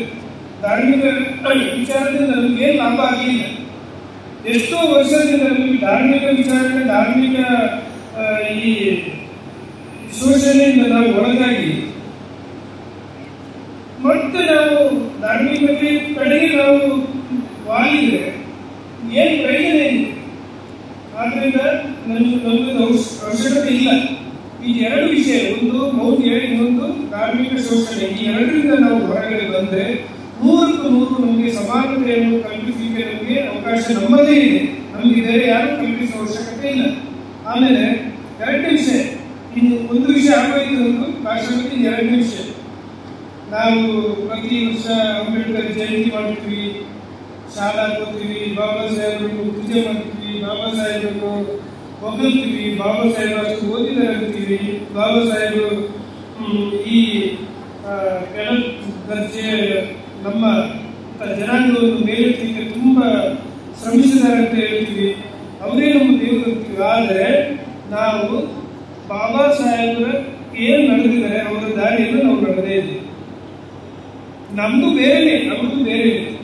ಬಾಬಾ ಸಾಹೇಬರ ದಾರಿಯಲ್ಲಿ ನಾವು ನಡೆದಿದ್ರೆ ನಾವು ನೂರಕ್ಕೆ ನೂರು ನಾವೇ ಇವತ್ತು ಎಲ್ಲರೂ ಅಂಬೇಡ್ಕರ್ ಆಗ್ತಿರ್ತೀವಿ ಅಂಬೇಡ್ಕರ್ ಅಂಬೇಡ್ಕರ್ ಮುಂದೆ ಬರಲ್ಲ. ನಾವೇ ಅಂಬೇಡ್ಕರ್ ಕ್ರಿಯೇಟ್ ಮಾಡಬೇಕು. ನಾವು ಯಾರು ಅಂಬೇಡ್ಕರ್ ಆಗಿದ್ದು ನಾವು ಇಲ್ಲ.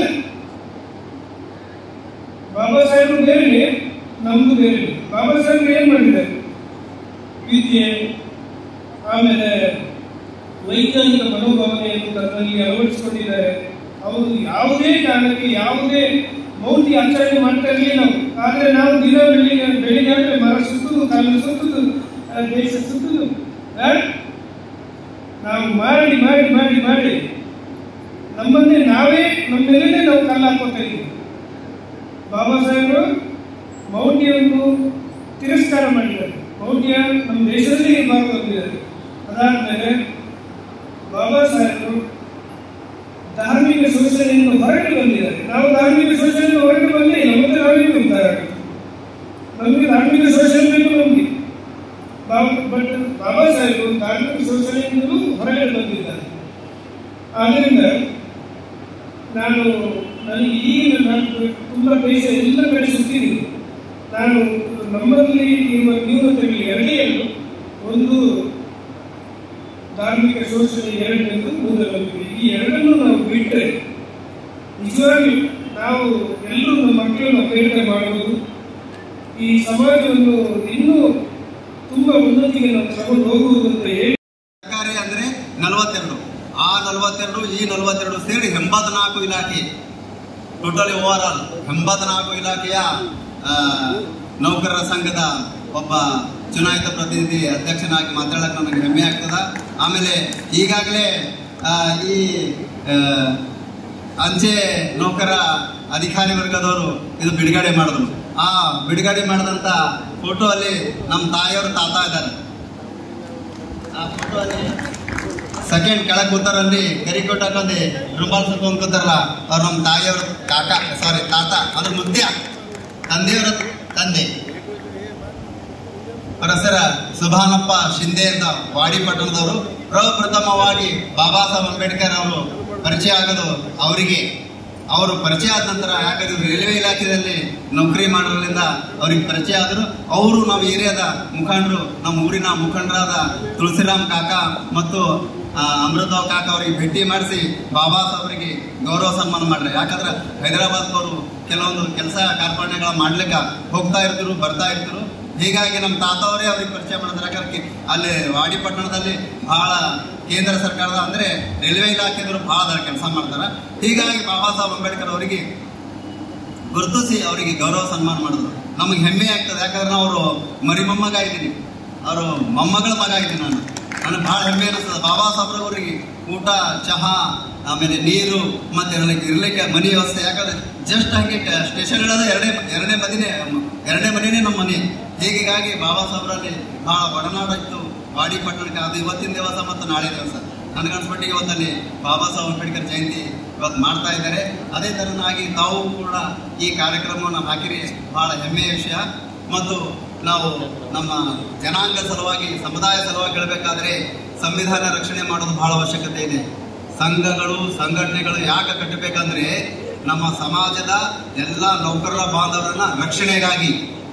ಈ ಕೆಲವೊಂದು ಹ್ಯಾಂಗ್ ರಕ್ಷಣೆ ಅನ್ಯಾಯಗಳಾಗ್ತಾವ ಅತ್ಯಾಚಾರ ಆಗ್ತಾವ, ದೌರ್ಜನ್ಯ ಆಗ್ತಾವ ದಬ್ಬಾಳಿಕೆಗಳಾಗ್ತಾವ ಇದನ್ನ ತಡೆ ಹಿಡಿಬೇಕಾದ್ರೆ ಈ ಸಂಘ ಸಂಸ್ಥೆಗಳು, ಸಂಘಟನೆಗಳು ಬಹಳ ಅವಶ್ಯಕತೆ. ಉಳಿತಿಗಾಗಿ ಜನಾಂಗದ ಉಳಿತಿಗಾಗಿ ಮತ್ತು ನಮ್ಮ ನೌಕರರ ಬಾಂಧವರ ರಕ್ಷಣೆಗಾಗಿ ಬಾಬಾ ಸಾಹೇಬ್ ಅಂಬೇಡ್ಕರ್ ಹೇಳ್ದಂಗ ನೌಕರರ ಬಾಂಧವರ ರಕ್ಷಣೆಗಾಗಿ ಮಾಡಬೇಕಾದ ಅತಿ ಅವಶ್ಯಕತೆ ಇದೆ. ಯಾಕಂದ್ರೆ ಸಂವಿಧಾನ ಆಲ್ಮೋಸ್ಟ್ ಅಲ್ಲ, ಬಹಳ ಗಂಡಾಂತರನಾಗದ ಅಪಾಯದಲ್ಲಿದೆ. ಅದಕ್ಕೆ ನಾವು ಸಂವಿಧಾನ ರಕ್ಷಣೆ ಮಾಡುವಂತ ಕೆಲಸ ನೌಕರ ಬಾಂಧವರು ಮಾಡಬೇಕು, ಸಾರ್ವಜನಿಕರು ಮಾಡಬೇಕು. ಪ್ರತಿಯೊಬ್ಬ ವ್ಯಕ್ತಿಯ ಕರ್ತವ್ಯ ಆಗಿರೋದ್ರಿಂದ ಅದಕ್ಕೆ ದಯಮಾಡಿ ತಮ್ಮೆಲ್ಲರಲ್ಲಿ ಮನವಿ ಮಾಡ್ತೀನಿ. ಸಂವಿಧಾನ ರಕ್ಷಣೆ ಕೆಲಸ ಆಗಬೇಕು. ಕಾವುಜ ಈಗ ಖಾಸಗೀಕರಣ ಉದಾರೀಕರಣ ಜಾಗತೀಕರಣ. ಇದೇನು?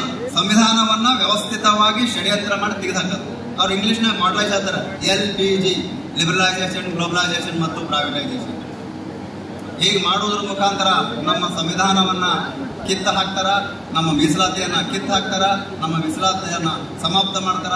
ಇದು ಆಗದೆ ಹಂಗ ಇದನ್ನು ಹೋಗ್ಲಾರ್ದಂಗ ನಾವು ನೋಡ್ಕೋಬೇಕಾದ್ರೆ ದಯವಿಟ್ಟು ತಾವೆಲ್ಲ ನೌಕರ ಬಂದವರು ಈ ಕೆಲಸಕ್ಕ ಕೈ ಜೋಡಿಸಿ ತಾವು ಹೋರಾಟಕ್ಕೆ ಮುಂದಾಗ್ಬೇಕಂತ ಹೇಳಿ. ಹೀಗೆ ಹತ್ತು ಸಲ ಬಂದಂತ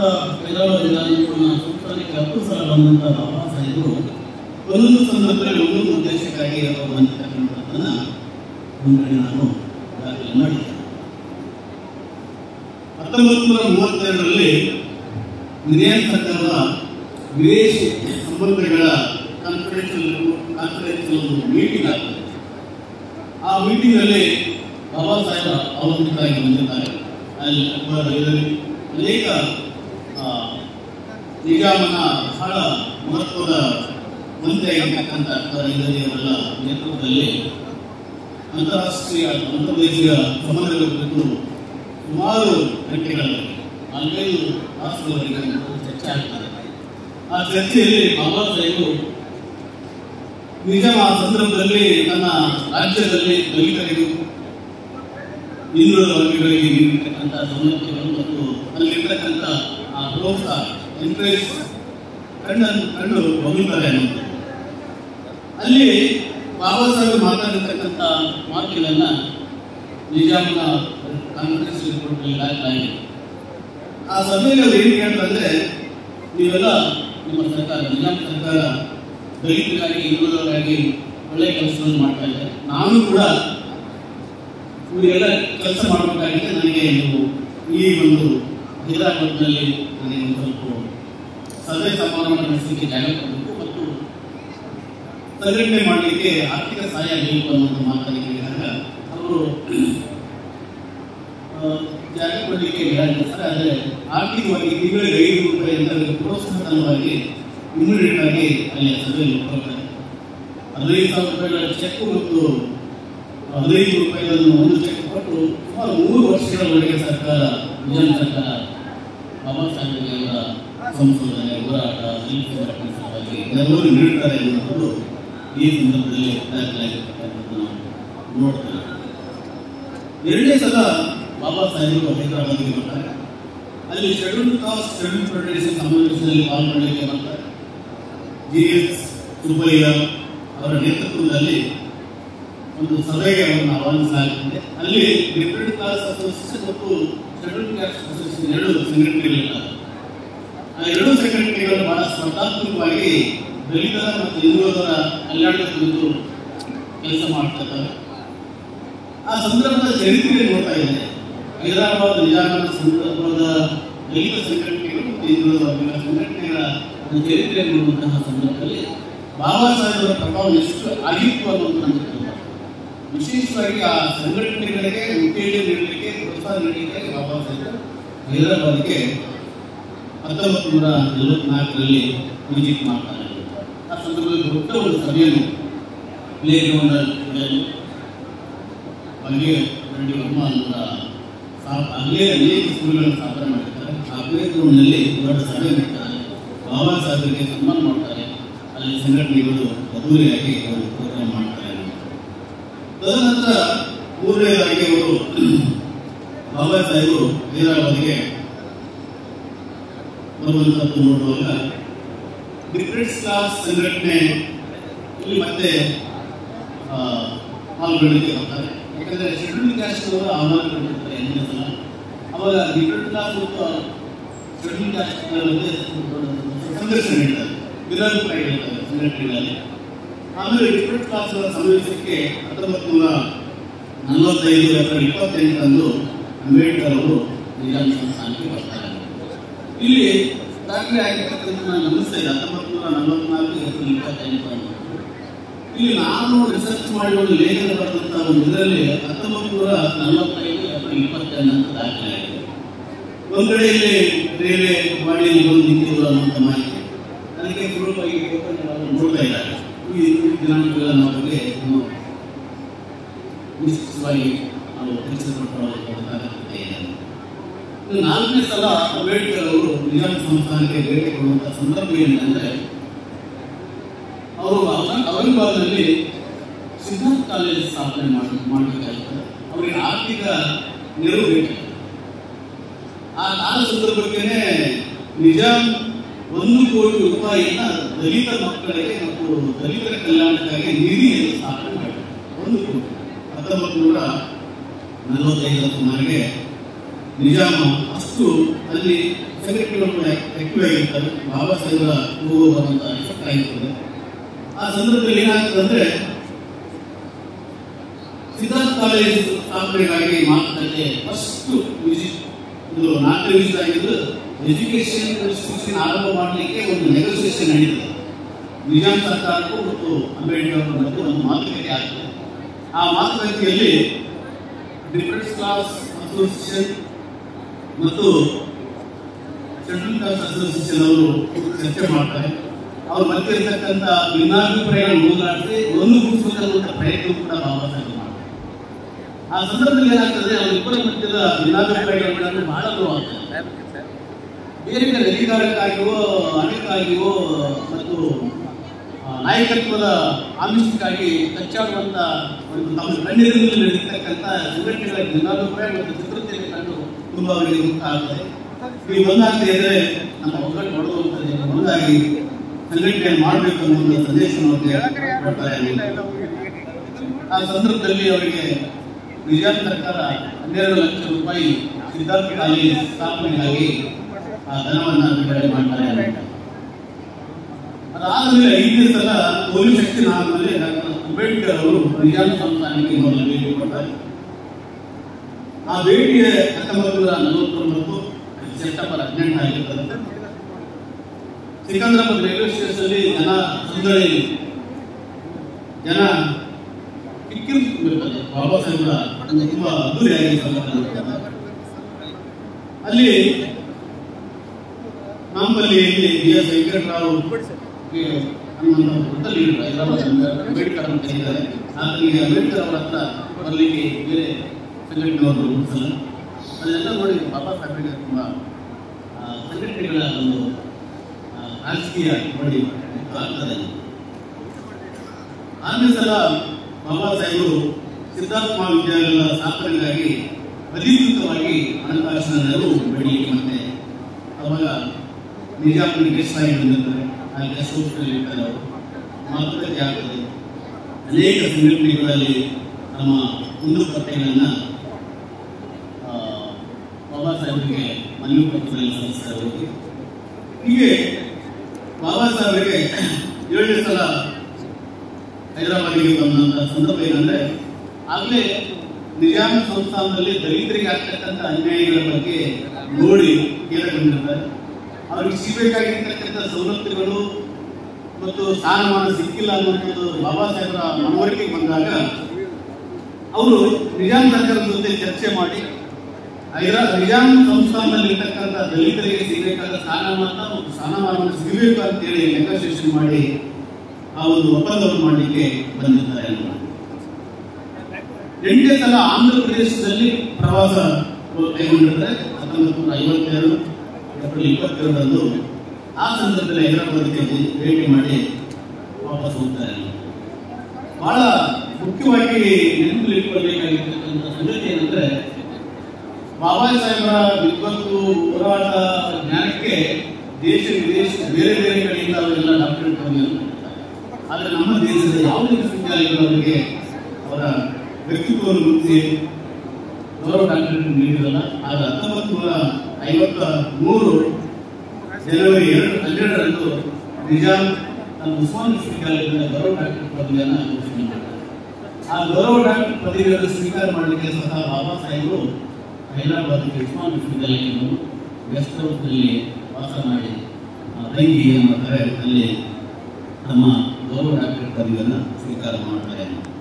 ಇನ್ನು ಹತ್ತನೇ ಬಾರಿಗೆ ಬಂದಿರುವಂಥದ್ದು ಅವರಿಗೂ ಹತ್ತೊಂಬತ್ತು ನೂರ ಐವತ್ತಾರರಲ್ಲಿ ಬೌದ್ಧ ಧರ್ಮ ಸೇವೆಯಾಗಿತ್ತು ಐವತ್ತಾರರಲ್ಲಿ ಡಿಸೆಂಬರ್ ಸೇ ಡಿಸೆಂಬರ್ ಅವರು ನಿಧನವನ್ನು ಅದಕ್ಕಿಂತ ಎರಡು ವರ್ಷ ಮುಂಚೆ ಹತ್ತೊಂಬತ್ತು ನೂರ ಐವತ್ನಾಲ್ಕರಲ್ಲಿ ವಿವಿಧ ಸಂಘ ಸಂಸ್ಥೆಗಳಿಗೆ ಭೇಟಿ ನೀಡುತ್ತಾರೆ